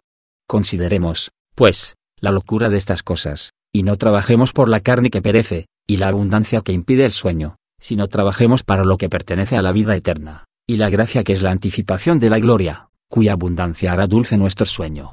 Otros se quedan en vela para dedicarse a los placeres, no se acuestan a su debido tiempo, porque no pueden hallar en sus corazones descanso a menos que prosigan en sus vanos pasatiempos y diversiones, su música, su baile, sus juegos, naipes y dados, o lo que es peor, orgías y excesos, porque los que se emborrachan, se emborrachan por la noche. Es malo que estas satisfacciones de los bajos instintos, o por lo menos de la mente vana, consigan devorar la velada y luego nos dejen en sopor el alma, como acostumbran hacer de modo solapado, de modo que no hay tiempo en el corazón para las devociones nocturnas, sea en el propio aposento o con la familia, pero es peor aún, porque socavando las horas de sueño, lo más probable es que tampoco haya oportunidad para ningún ejercicio religioso a la mañana siguiente. Los que pueden permitirse pasar la noche en holgorio, cosas necias o inmundas, considerarían que se les somete a un trato duro si se les ocupara el tiempo con un sermón más largo de la cuenta, cuando algún predicador hiciera lo que Pablo, seguir hablando hasta la medianoche. Hechos 22.7. Y cuán poco dispuestos se sentirían a hacer como David, levantarse a medianoche para dar gracias a Dios, o, como su maestro, continuar orando toda la noche. Hay que mortificar estos afectos pecaminosos, no satisfacerlos. Los que se permiten estas irregularidades, si dedican unos momentos a reflexión imparcial, no podrán por menos que ver los inconvenientes de los mismos. Sí que son un daño a la prosperidad de su alma, y que deberían negarse a ellos para su propio bien. Una buena regla para el final del día es no dilatar demasiado la hora del descanso, todo es bueno a su sazón. He oído decir desde hace mucho, y voy a repetirlo, hay que ir pronto a la cama y salir de ella temprano. De este modo se está sano, riqueza y fama se gana. Vamos, pues, a dar por sentado que a menos que interfiera algún asunto inesperado y necesario, o alguna obra de misericordia, o algún acto especial de devoción, seguirás en vela hasta el momento apropiado y entonces irás a acostarte. Y has de hacerlo con agradecimiento a Dios, dedicando pensamientos a la muerte, reflexiones penitentes por los pecados del día y humildes suplicaciones de misericordia durante la noche. Acuéstate con agradecimiento a Dios. Cuando te retiras a tu aposento has de elevar tu corazón a Dios, el Dios de toda misericordia, y hacerle objeto de tu alabanza cuando te vas a la cama. Estoy seguro de que no nos faltan asuntos para darle alabanza, si no nos falta corazón. Por tanto, dirijámonos a este agradable deber, este trabajo que es en sí su propia remuneración. El sacrificio de la noche había de ser un sacrificio de alabanza. Tenemos razones para estar agradecidos por las muchas mercedes del día que ha pasado, que tendríamos que revisar ahora, y decir, bendito sea el Señor que me ha colmado el día de beneficios. Observa la serie ininterrumpida de misericordias durante todo el día. Observa los ejemplos particulares de misericordias con que algunos días quedan destacados. Es el que nos concede vida y favor, y su presencia que mantiene nuestro espíritu. Piensa en las calamidades de que te guarda cada día, las calamidades a que estás expuesto, y de cuyo peligro inminente te ha librado, y aquellas, desconocidas, por las que no hemos sentido aprensión, de las cuales sufren muchos que son mejores que nosotros. Todos nuestros huesos tienen motivos de decir al Señor, ¿quién como tú? Porque Dios ha guardado nuestros huesos y ninguno de ellos ha sido fracturado. Es por su misericordia que no somos consumidos. Piensa también en los beneficios que te rodean y que debes a su divina providencia, lo que comes y bebes, los pasos que das y el aire que respiras, todas las satisfacciones que hacen tu vida placentera, la sociedad y los amigos, los éxitos en la profesión y el placer que tienes en ellos. Todo el gozo de que disfrutamos, como se dice de Zabulón en sus salidas, y de Isaacar en sus tiendas, es por lo que hemos de estar agradecidos y dar alabanza a Dios. Es posible que el día haya pasado con algún accidente, algo que nos ha afligido y decepcionado, pero esto no nos ha de indisponer para la alabanza, como sea. Dios es bueno y es nuestro deber darle gracias y bendecir su nombre. El Señor dio, el Señor quitó. Sea alabado el nombre del Señor. Nuestras aflicciones son pocas y merecidas, nuestras mercedes muchas y ninguna merecida. Tenemos motivos para agradecer las sombras del atardecer, que nos llaman a retirarnos, a descansar. La misma sabiduría, poder y bondad que hace la mañana, hace la noche también para gozarnos, y nos da motivo para agradecer el cerrar los ojos como el abrirlos por la mañana. Dios dividió la luz de las tinieblas, e hizo que se alternaran, esto era bueno. Agradezcamos, pues, a Dios las dos cosas, y así como en las revoluciones del tiempo, en las de los sucesos en el tiempo, la oscuridad de la aflicción es necesaria a su sazón, como la luz de la prosperidad. Si el mercenario espera ansioso que las sombras se alarguen porque con ellas viene el descanso, que lo agradezca, y sepamos que el calor y la carga del día no son perpetuos. Tenemos razones por el aposento quieto en que nos echamos. Nabucodonosor se echaba entre las bestias del campo.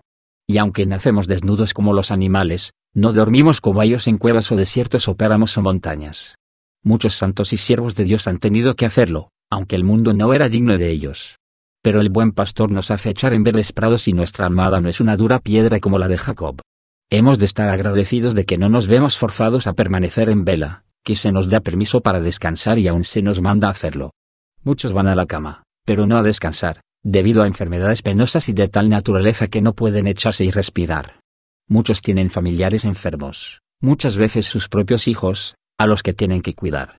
Muchos temen, enemigos, ladrones, soldados, Nuestro sueño no es perturbado por alarmas de guerra.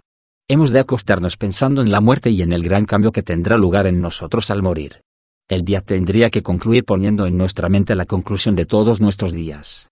Es bueno pensar con frecuencia en la muerte, especialmente al ir a la cama. Esto aligerará nuestras fatigas y cruces, nos protegerá contra las tentaciones, nos familiarizará con la muerte y nos hará perder el miedo a la misma. Al morir nos retiraremos, como hacemos al acostarnos. El hombre yace y no vuelve a levantarse, hasta que pasen los cielos no despertará ni se levantará de su sueño. Job 14:12 Salimos para ver y ser vistos, y algunos pasan su vida sin mayor interés hasta que viene la muerte y pone fin a los dos. No veré a Ja, ajá en la tierra de los vivientes, ya no veré a ningún hombre con los moradores del mundo. Isaías 38 2.11 Los ojos de los que me ven no me verán más, fijarás en mí tus ojos, y habré dejado de existir. Job 7 2.8 Nos esconderán en la tumba y seremos cortados de entre los vivos. Morir es decir adiós a los amigos, poner un punto en nuestra conversación con ellos. Pero gracias sean dadas a Dios, no es una despedida eterna. Esperamos verlos otra vez la mañana de la resurrección para no despedirnos más de ellos. Al morir nos despertamos del cuerpo, como ahora nos quitamos los vestidos cuando vamos a descansar. El alma es el hombre, el cuerpo es su vestido. Al morir seremos desnudados, la casa terrenal de este tabernáculo será disuelta, y el vestido del cuerpo será puesto de lado, la muerte nos desnuda y nos envía fuera del mundo tal como llegamos a él, limpia el alma de todos los disfraces con que aparece ante los hombres, y así nos envía a Dios, la carga de los vestidos en un día caluroso, el tabernáculo bajo el cual gemimos y que estorba nuestras satisfacciones espirituales, todo ello será puesto de lado. Quedaremos libres para ser revestidos de la gracia de Cristo y de inmortalidad. Nuestro vestido será un cuerpo glorioso como el de Cristo. Al morir descansaremos en la tumba, ya que nuestro cuerpo descansará en el polvo. Yo 20:11. Para los que se mueren en pecado e impenitentes, la tumba es un calabozo, sus iniquidades están sobre sus huesos y yacen con ellos, pero para los que mueren en Cristo, en la fe, la tumba es un lugar de descanso donde no hay inquietudes hasta la mañana del gran día, donde no hay pesadillas y visiones nocturnas de terror, donde hay paz y descanso. Isaías 57 2.2. El santo Job se consuela con esto en su agonía, que pronto tendrá su lecho en la oscuridad, y ahí tendrá descanso. Es un lecho suave, cual rosa de Sarón, cual lirio de los valles. Puedes decirte, pues, que la tumba es un lugar de descanso para el cansado, cuando te vas a la cama, con esta consolación, además, que poco después despertarás descansado para reunirte con el amado de tu alma, para estar siempre con él. Te despertarás a un día que no renovará tus cuidados, sino que te proporcionará gozo eterno y sin mezcla. Cuán confortables podemos echarnos a dormir, pues, con estos pensamientos en nuestra mente y cuán confortables cuando nos echemos para morir, habiéndonos acostumbrado a estos pensamientos. Echémonos con la reflexión penitente de nuestros pecados del día que ha transcurrido. Alabemos a Dios y deleitémonos en Él, pero por desgracia, esta labor de los ángeles no es la única que nos dedicamos. Nos solazamos en la bondad de Dios, pero nos afligimos, pues es necesario también que nos arrepintamos de muchas cosas por nuestro atrevimiento y nuestros desmanes, los dos es necesario que vayan juntos, hemos de reconocer todo lo que hacemos. No debe cabernos duda, nuestra naturaleza sigue corrompida, hay en ella raíces amargas. Nuestras ofensas son persistentes, ya que no hay justo ni aun uno. Estamos en medio de un mundo corrupto, y no podemos pasar por él sin mancha. Si decimos que no tenemos pecado o que hemos pasado un día sin pecar, nos engañamos a nosotros mismos, y no hay verdad en nosotros. Hemos de pedir, pues, ser limpiados de nuestras faltas, incluso de aquellas de las que no nos hemos dado cuenta. Tendríamos que aspirar a una perfección sin pecado, vigilando cuidadosamente por alcanzarla, pero después de todo hemos de reconocer que nos quedamos cortos, que no la hemos conseguido, y que no somos perfectos. Esta es nuestra experiencia triste pero constante, y no hay día que, al cerrarse, no nos obliga a ponernos de rodillas. Hemos de examinar nuestras conciencias para hallar las transgresiones particulares del día transcurrido, Examinemos nuestros caminos, pensamientos, palabras, acciones, y comparémoslas con las reglas de la palabra. Miremos nuestros rostros al espejo y veamos las manchas que hay. Preguntémonos, ¿qué he hecho hoy? ¿En qué he faltado? ¿Qué deberes he descuidado? ¿Qué pasos falsos he dado? ¿He cumplido con los deberes respecto a mis relaciones particulares y me he ajustado a la voluntad de Dios en todas sus providencias? Al hacerlo llegaremos a conocernos bien, lo cual contribuirá más que ninguna otra cosa a la prosperidad de nuestra alma. tenemos que renovar nuestro arrepentimiento en todo cuanto hemos hallado pecaminoso en nosotros. Hemos de arrepentimos, y lamentarlos sinceramente, y avergonzarnos de ello, y dar gloria a Dios haciendo confesión. Si hay algo en particular que parece más malo que de ordinario, tenemos que lamentarlo de modo especial, y en general, hemos de mortificarnos por pecados debidos a flaquezas diarias, que no deberíamos tomar ligeramente, porque son recurrentes, y por tanto deberíamos avergonzarnos más de ellos y de su causa. Es bueno no demorar el arrepentimiento, hay que hacerlo antes de que el pecado consiga engañarnos y nos endurezcamos. Las demoras son peligrosas, las heridas recientes se curan fácilmente, pero si tardan en curarse se dañan, hieden y supuran. Salmo 38 2.5 aunque durante el día entremos en pecado por debilidad de la carne, podemos ser restablecidos antes de acostarnos si nos arrepentimos. No tenemos, pues, que desanimarnos. El pecado que nos humilla no será nuestra ruina. Hemos de hacer una aplicación reciente de la sangre de Cristo a nuestras almas para la remisión de nuestros pecados, y la aceptación por la gracia de nuestro arrepentimiento. No hemos de pensar que solo tenemos necesidad de Cristo para la primera conversión. Tenemos necesidad diaria de Él como nuestro abogado ante el Padre y por tanto, como tal, siempre aparece ante la presencia de Dios por nosotros y se ocupa continuamente de nosotros. Incluso nuestros pecados diarios rutinarios serían nuestra rutina si Él no hubiera hecho satisfacción por ellos y no hiciera intercesión ahora por nosotros. El que ha sido limpiado, todavía necesita lavarse los pies de la suciedad que se le pega por el camino, y bendito sea Dios que hay una fuente abierta para que nos lavemos, y está abierta siempre. Hemos de dirigirnos al trono de la gracia pidiendo perdón y paz.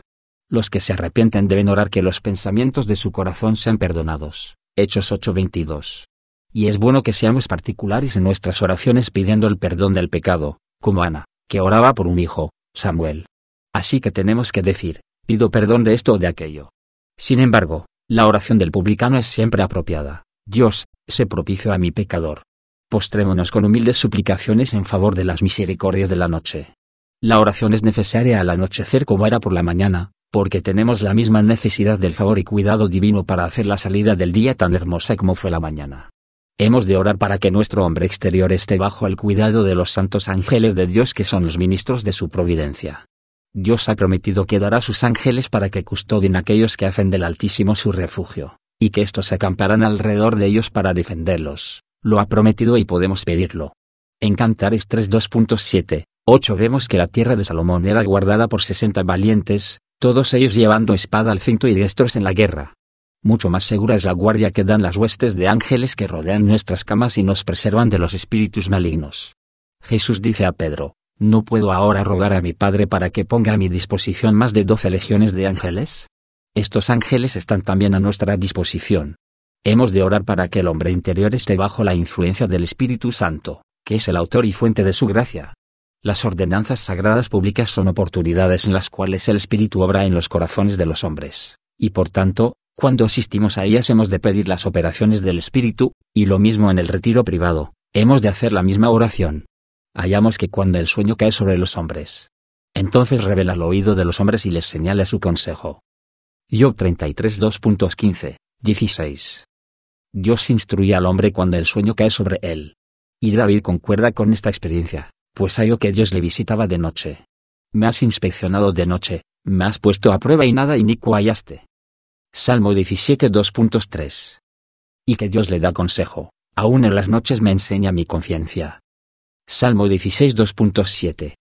Hallo que la noche era un momento apropiado para recordar a Dios y meditar en Él, y para mejorar la sazón de este conversar con Dios en la soledad, necesitamos la influencia del Espíritu Santo cuya presencia hemos de pedir al acostarnos y al cual nos hemos de someter. No sabemos en qué forma obra la gracia de Dios cuando dormimos, pero no cabe duda de que el Espíritu del Señor tiene libertad para influir en nosotros.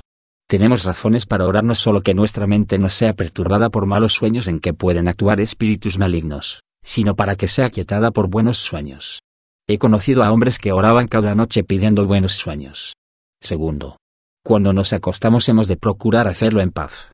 A Abraham se le prometió que iría a la sepultura en paz. Génesis 15:15. Y esta promesa es válida para toda su simiente espiritual, porque el fin del justo es paz. Josías murió en paz, aunque murió en una batalla. Se dice que los malvados yacerán en dolor. Isaías 52.11. A los justos se les promete que yacerán y nadie les atemorizará. Levítico 26.2.6. Job 11:19. Por tanto, entremos en este descanso, y no nos quedemos cortos de poder hacerlo.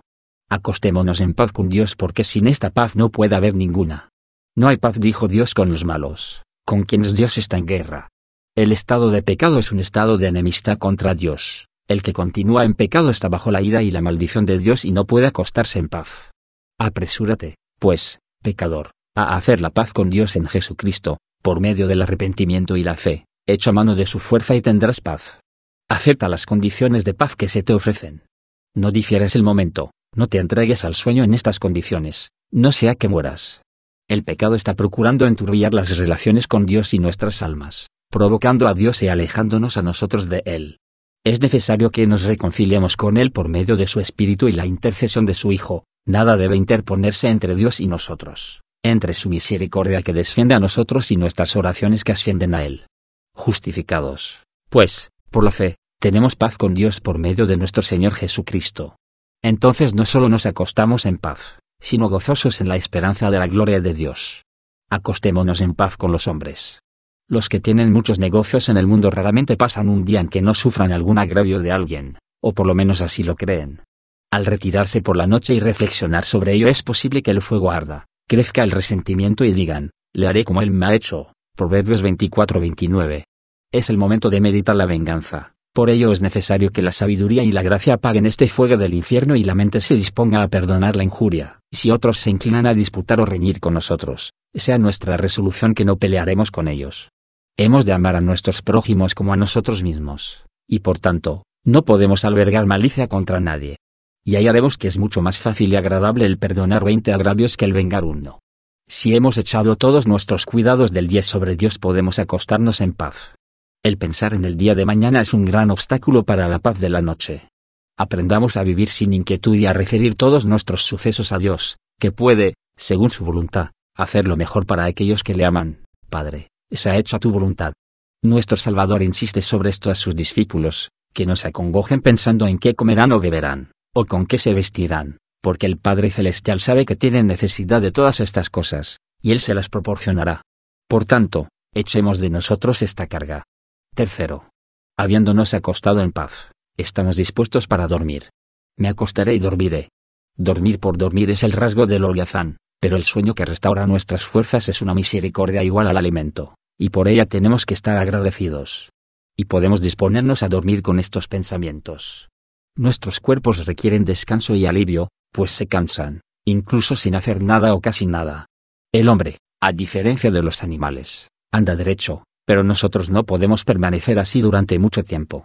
Al cabo de pocas horas hemos de renunciar a este privilegio, ya que nos es imposible continuar despiertos, y hemos de echarnos. Que el sabio no se gloría en su sabiduría, ni el fuerte en su fuerza, puesto que ambos yacen una cuarta parte de su vida totalmente privados del uso de su fuerza o de su sabiduría, débiles e inertes. Qué lástima perder tanto tiempo durmiendo, incapaces de servir a Dios o al prójimo, de hacer obra alguna de piedad o de caridad. Por ello muchos desean pasar durmiendo tan poco tiempo como pueden, y se vivan para redimir el tiempo mientras están despiertos, y desean llegar al día en que no hay sueño, sino que como los ángeles de Dios no descansarán de día ni de noche haciendo la bendita obra de alabar a Dios. El buen amo a quien servimos nos deja tiempo para dormir y nos proporciona lo conveniente para ello, y hace que el sueño nos renueve y vivifique. Dios, pues, tiene consideración para nuestro cuerpo y es conveniente que lo presentemos como sacrificio vivo a Él, y con Él le glorifiquemos. El sueño es prometido a los santos, a sus santos da Dios el sueño. Salmo 127 2.2. ¿Qué diferencia entre el sueño del pecador, a un paso del infierno, y el sueño que Dios da a sus amados? Cuán triste es el caso de aquellos de cuyos ojos huye el sueño a causa de dolor del cuerpo o inquietud de la mente, y que esperan noches de insomnio y que dicen al acostarse, ¿cuándo nos levantaremos? Al pensar que cierto rey francés empleaba como tortura a sus súbditos protestantes, para que renunciaran a su religión, el privarles del sueño por la violencia, nos damos cuenta de la necesidad inexorable del sueño y sentiremos compasión por aquellos que, por alguna razón, se ven privados de su consuelo, y oraremos por ellos. Cuán desagradecidos somos a Dios al permitir que el sueño nos impida a veces hacer lo bueno. El holgazán pierde a veces la hora de oración por la mañana o renuncia a ella por la noche, o cuando hemos dormido durante el servicio de Dios, como Autico cuando Pablo predicaba, o como los discípulos en la agonía de Cristo en Getsemaní. Los que quieren dormir y no pueden, pueden pensar en las ocasiones en que habrían querido estar despiertos y durmiendo. Tenemos ahora un día menos para vivir que cuando nos despertamos por la mañana, el hilo del tiempo se va enrollando, la arena va descendiendo a medida que pasa el tiempo y la eternidad se acerca, nuestros días pasan más rápidamente que la lanzadera del tejedor, que va y vuelve en un instante. ¿Y qué hacemos con el tiempo? ¿Qué diremos al dar cuenta de él? Ojalá que nos acostáramos siempre pensando en la muerte, para que esto nos ayudara a redimirlo. Voy a dormir para la gloria de Dios, como al hacer todo lo demás. Para que mi cuerpo sea más apto para servir al alma, y esté mejor dispuesto para el servicio de Dios mañana. Así, las acciones comunes han de estar dirigidas a nuestro gran objetivo, son hechos en forma piadosa y puestas a nuestra cuenta, son santificadas. Para el que es puro todas las cosas son puras, y sea que estemos despiertos o durmamos, vivimos juntos con Cristo. 1 Tesalonicenses 5:10. Me encomiendo ahora a tu gracia, Señor. Es bueno dormir, habiéndonos entregado a ti, cuerpo, alma y espíritu. Vuelve al descanso de Dios, oh, alma, que te he mostrado sus bondades. Nos encomendamos a Él al dormir, como dijo David en el Salmo 31 2.5, en tus manos encomiendo mi espíritu. Como hizo Esteban, Señor Jesús, recibe mi espíritu. El dormir parece la muerte, y a veces es su puerta de entrada, muchos no se despiertan después de haberse dormido. Y que cuando me despierte esté todavía con Dios. Que el paréntesis del sueño no quiebre el hilo de la comunión con Dios, sino que se resuma al despertar. Que mis pensamientos al despertar vuelvan a Dios, sin haberse perdido durante la noche. Que con ellos esté mi corazón sazonado todo el día. Y que pueda entrar en un descanso mucho mejor que el descanso en que estoy entrando ahora. El apóstol habla de un descanso en que entraremos los que hemos creído, el pueblo de Dios. Hebreos 4.2.9. Los creyentes tienen descanso del pecado en este mundo, tienen a Cristo y el pacto de la gracia, y también el descanso de la otra vida, el gozo con el Señor en toda su plenitud. Cuarto. Hemos de hacer todo esto en una dependencia confiada en Dios y su poder, su providencia y su gracia. Por tanto me acuesto en paz y me dispongo al sueño, porque el Señor me guarda. David ve los ojos de Jehová sobre él cuando se retira a su aposento, en la oscuridad, y cuando nadie más le ve. Ve su mano protectora que le libra de mal y le mantiene seguro. Es por medio del poder de la providencia de Dios que estamos seguros durante la noche. Es Él que preserva al hombre y a la bestia. Salmo 36 2.6, que sostiene todas las cosas por la palabra de su poder. La muerte pronto habría destruido a todos si Dios no protegiera a las criaturas contra sus flechas que vuelan en todas direcciones. Nosotros no podemos verlas, pero estamos expuestos a ellas en la noche. Nuestros cuerpos llevan consigo la simiente de todas las enfermedades, la muerte está trabajando siempre en nosotros. Una cosa minúscula puede interrumpirse a la circulación de la sangre o el resuello, y viene el fin, y ya no nos despertamos. El pecado nos somete a otros riesgos, asesinatos durante el sueño, muchos mueren en sus camas en incendios, y lo peor, la malicia de los espíritus malignos que procuran devorarnos. Nosotros no podemos protegernos, ni nuestros amigos, no podemos prever lo que se nos echa encima, y por tanto, ¿cómo guardarnos? Cuando el sueño cae sobre nosotros somos totalmente indefensos. Nuestros amigos duermen también. Es, pues, la providencia de Dios la que nos protege durante la noche. Es una valla como la que rodeaba a Job, que ni el mismo Satán puede penetrar ni haya brecha alguna en ella.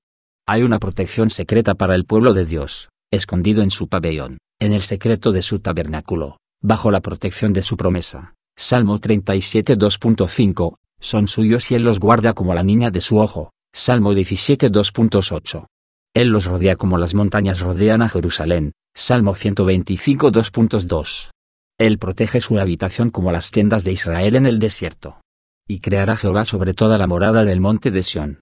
Nube y oscuridad de día, y de noche resplandor de fuego y habrá un toldo para sombra contra el calor del día para refugio y escondedero contra el turbión y contra el aguacero. Isaías 4.2.5 Así bendice Dios las habitaciones de los justos, para que no caiga sobre ellos ningún verdadero mal, ni ninguna plaga se les acerque. Este cuidado de la divina providencia sobre nosotros y nuestras familias, de las que dependemos, es tal que cualquier provisión que hagamos nosotros para nuestra seguridad no será suficiente a menos que haya bendición de Dios sobre ella a menos que el Señor guarde la ciudad, en vano velan sus guardas. La casa nunca está bastante bien construida, las puertas y ventanas nunca están bastante bien atrancadas, los siervos nunca vigilan bastante a menos que el que guarda a Israel, que no se duerme ni descansa, se haga cargo de su seguridad, y si él es el protector, de la destrucción y del hambre te reirás, y no temerás a las fieras del campo. Sabrás que hay paz en tu tienda, visitarás tu morada y nada echarás de menos. Job 5:22, 24. Es por el poder de la gracia de Dios que podemos considerarnos seguros, y de esta gracia dependemos continuamente. El temor del peligro, aunque sea sin base, resulta tan pernicioso como si fuera justificado. Y por tanto, para completar la merced de hacernos morar seguros, es un requisito que la gracia de Dios nos libre de nuestros temores, Salmo 34 2.4, así como de las cosas mismas de las que tenemos miedo, de las sombras que nos aterrorizan, así como de los males reales. Si por la gracia de Dios podemos mantener la conciencia libre de ofensa y preservamos nuestra integridad, si hemos eliminado la iniquidad y no hemos permitido que la maldad habite en nuestro tabernáculo, entonces levantaremos nuestros rostros sin mancha, y seremos fuertes, y nada temeremos. Job 11 14, 15, porque el temor viene con el pecado y se va con él. Si nuestro corazón no nos condena, tenemos confianza en Dios y en los hombres, y vivimos en seguridad, porque nada nos puede dañar, sino el pecado, de todo lo que nos puede dañar el pecado es el aguijón, y por tanto, si el pecado ha sido perdonado no hemos de temer nada. Si por la gracia de Dios hemos podido vivir por la fe, la fe que pone a Dios siempre delante de nosotros, la fe que nos aplica las promesas y las pone delante del trono de gracia, la fe que purifica el corazón vence al mundo y apaga los dardos del maligno, la fe que realiza cosas nunca vistas y que es la sustancia y evidencia de ellas. Si actuamos gobernados por esta gracia podemos vivir seguros y desafiar a la misma muerte y todos sus terrores. ¿Dónde está? Oh, muerte, tu aguijón. Esta fe no solo puede acallar todos los temores, sino que abre nuestros labios en santo triunfo, porque si Dios es con nosotros, ¿quién es contra nosotros? Echémonos a descansar en paz y durmamos, no en la fuerza de la resolución natural contra el temor, o con argumentos racionales contra él, sino por depender de la gracia de Dios que obra la fe en nosotros y nos llena de la obra de fe. El que tal hace va a dormir como un cristiano, bajo la sombra de las alas divinas, y será para nosotros una anticipación del morir en la fe, porque la misma fe que nos lleva a través de la corta muerta del sueño, nos llevará a través del largo sueño de la muerte. Aplicación práctica primero. Consideremos hasta qué punto nos preocupamos de llevar nuestra religión con nosotros donde quiera que vamos, y de tenerla siempre a nuestra mano derecha, porque en todo momento tenemos ocasión para ella, al acostarnos, al levantarnos, al salir y al entrar. Y los que son cristianos verdaderamente son los que no confinan su religión a las lunas nuevas y los sábados, sino que llevan su influencia en todas las acciones y ocurrencias comunes de la vida cotidiana. Hemos de sentarnos a la mesa y echarnos a la cama y levantarnos con la vista en la providencia y promesa de Dios. De esta manera viviremos una vida de comunión con Dios, aunque estemos viviendo normalmente en este mundo. Y para hacer esto es necesario que tengamos un principio vivo en nuestros corazones, un principio de gracia, que como un manantial de agua viva esté manando continuamente para vida eterna. Juan 4:14. Es necesario, asimismo, que vigilemos nuestros corazones, y los guardemos con diligencia, y que seamos estrictos con sus movimientos y que nuestros pensamientos estén bajo mano, con más rigor, me temo, de lo que ocurre con la mayoría de los cristianos. Hemos de procurar tener provisiones constantes de la gracia divina, y mantenernos en unión con Cristo para que por la fe podamos participar de la raíz y de la grosura de la oliva continuamente. En segundo lugar, hemos de ver que la vida de los cristianos buenos está escondida, y no se ve bajo la observación del mundo. La parte más importante es allá entre Dios y el alma, en la disposición de su espíritu, y en la obra realizada en su corazón en su secreto, de todo lo cual ningún ojo puede ver nada, excepto aquel que es todo ojo. Justamente son llamados los santos, los escondidos de Dios, y su secreto está con ellos porque tienen comida que el mundo no conoce, y gozos y penas y cuitas de los que un extraño no tiene idea. Grande es el misterio de la piedad. Y esta es una buena razón por la que debemos considerarnos jueces incompetentes cuando hemos de juzgarnos unos a otros, porque no conocemos el corazón del otro, ni somos testigos de lo que ocurre en su intimidad. Es de temer que hay muchos cuya religión yace en la superficie, como un espectáculo de feria en la carne, y quizá con gran ruido, y con todo, son extraños a la comunión secreta con Dios, en la cual consiste gran parte del poder de la piedad. Y por otra parte, es de esperar, que hay muchos que no se distinguen en nada observable por su profesión religiosa, sino que pasan sin que el mundo los note, y con todo, conversan mucho con Dios en la soledad, y andan con Él a un nivel constante de devoción y conducta de modo regular. El reino de Dios no es observable, Muchos mercaderes prosperan en negocios que no son observables al público. Es apropiado, pues, que el juicio del hombre proceda del Señor, que es el que conoce los corazones y ve en lo secreto. En tercer lugar, fíjate hasta qué punto se perjudican a sí mismos los que continúan bajo el dominio de una mente vana y carnal, y viven sin Dios en el mundo. Mucho me temo que de los tales se puede decir que el secreto de la comunión con Dios es algo desconocido, y que están dispuestos a decir de sus ministros, cuando éstos les hablan de ella, que están hablando en parábolas.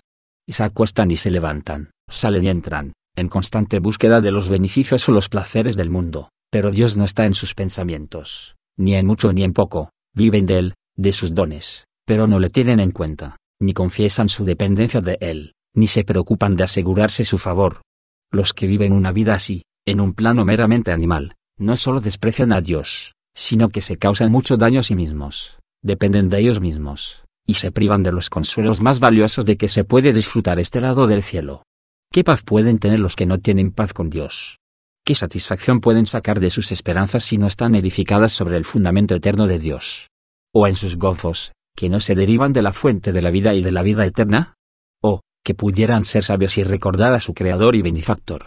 En cuarto lugar, ve lo agradables y sosegadas que podrían ser las vidas de los que forman el pueblo de Dios si no fuera por sus propias faltas. Hay algunos que temen a Dios y obran justicia, y son aceptados por el Señor, pero andan con la cabeza caída y desconsolados todo el día, llenos de cuitas y temores y quejas, y en continua inquietud, y es porque no viven la vida de deleite en Dios y dependencia de Él, que podrían y deberían vivir. Dios ha provisto para que puedan morar en paz y sosiego, pero no hacen uso de esta provisión preparada para ellos. Oh, si todos los que parecen tener conciencia y temen al pecado pudieran mostrar contento y no temer nada, si todos los que llaman Padre a Dios y procuran agradarle y mantenerse en su amor pudieran aprender a echar sus cargas sobre Él y encomendarse a Él como Padre. Él escogerá nuestra herencia y sabe lo que es mejor para nosotros. Tú, Señor, contestarás por mí. Esto es lo que he dicho con frecuencia y a lo que me atengo. Que la vida santa celestial basada en el servicio de Dios y en comunión con Él es la vida más placentera y satisfactoria que se puede vivir en este mundo. En quinto lugar, procura hallar la mejor preparación que podemos hacer para los cambios que pueden ocurrir en este, nuestro estado presente, la cual es el mantenernos en trato y comunión constante con Dios, el mantener conversación con Él diariamente, el guardar los momentos apropiados para invocarle, para que cuando llegue la tribulación pueda hallar las ruedas de la oración ligeras. Y luego, que podamos ir a Dios con humilde confianza y esperar ayuda rápida cuando entremos en aflicción si no hemos sido extrañados para con Dios en otras ocasiones, sino que en nuestra paz y prosperidad nuestros ojos han estado dirigidos a Él. Incluso cuando llegamos al mayor grado de santa seguridad y serenidad, y nos acostamos en paz, todavía hemos de esperar problemas de la carne. Nuestra seguridad no debe estar fundada en la estabilidad de la criatura, si es así, nos engañamos y acumulamos tribulaciones para el futuro. No hemos de confiar en nosotros mismos, sino en la fidelidad de Dios que es inmutable. Nuestro Maestro nos ha dicho que en el mundo tendremos tribulación, mucha tribulación, y que tenemos que contar con ello, y que solo en él podemos tener paz. Pero si cada día es para nosotros, como debería ser, un día de reposo en el Señor, y de comunión con Él, nada nos puede ocurrir ningún día que nos trastorne por grave que sea. En sexto lugar, asegúrate también de cuál es la mejor preparación que puedes hacer para el mundo inmutable que se halla delante de nosotros.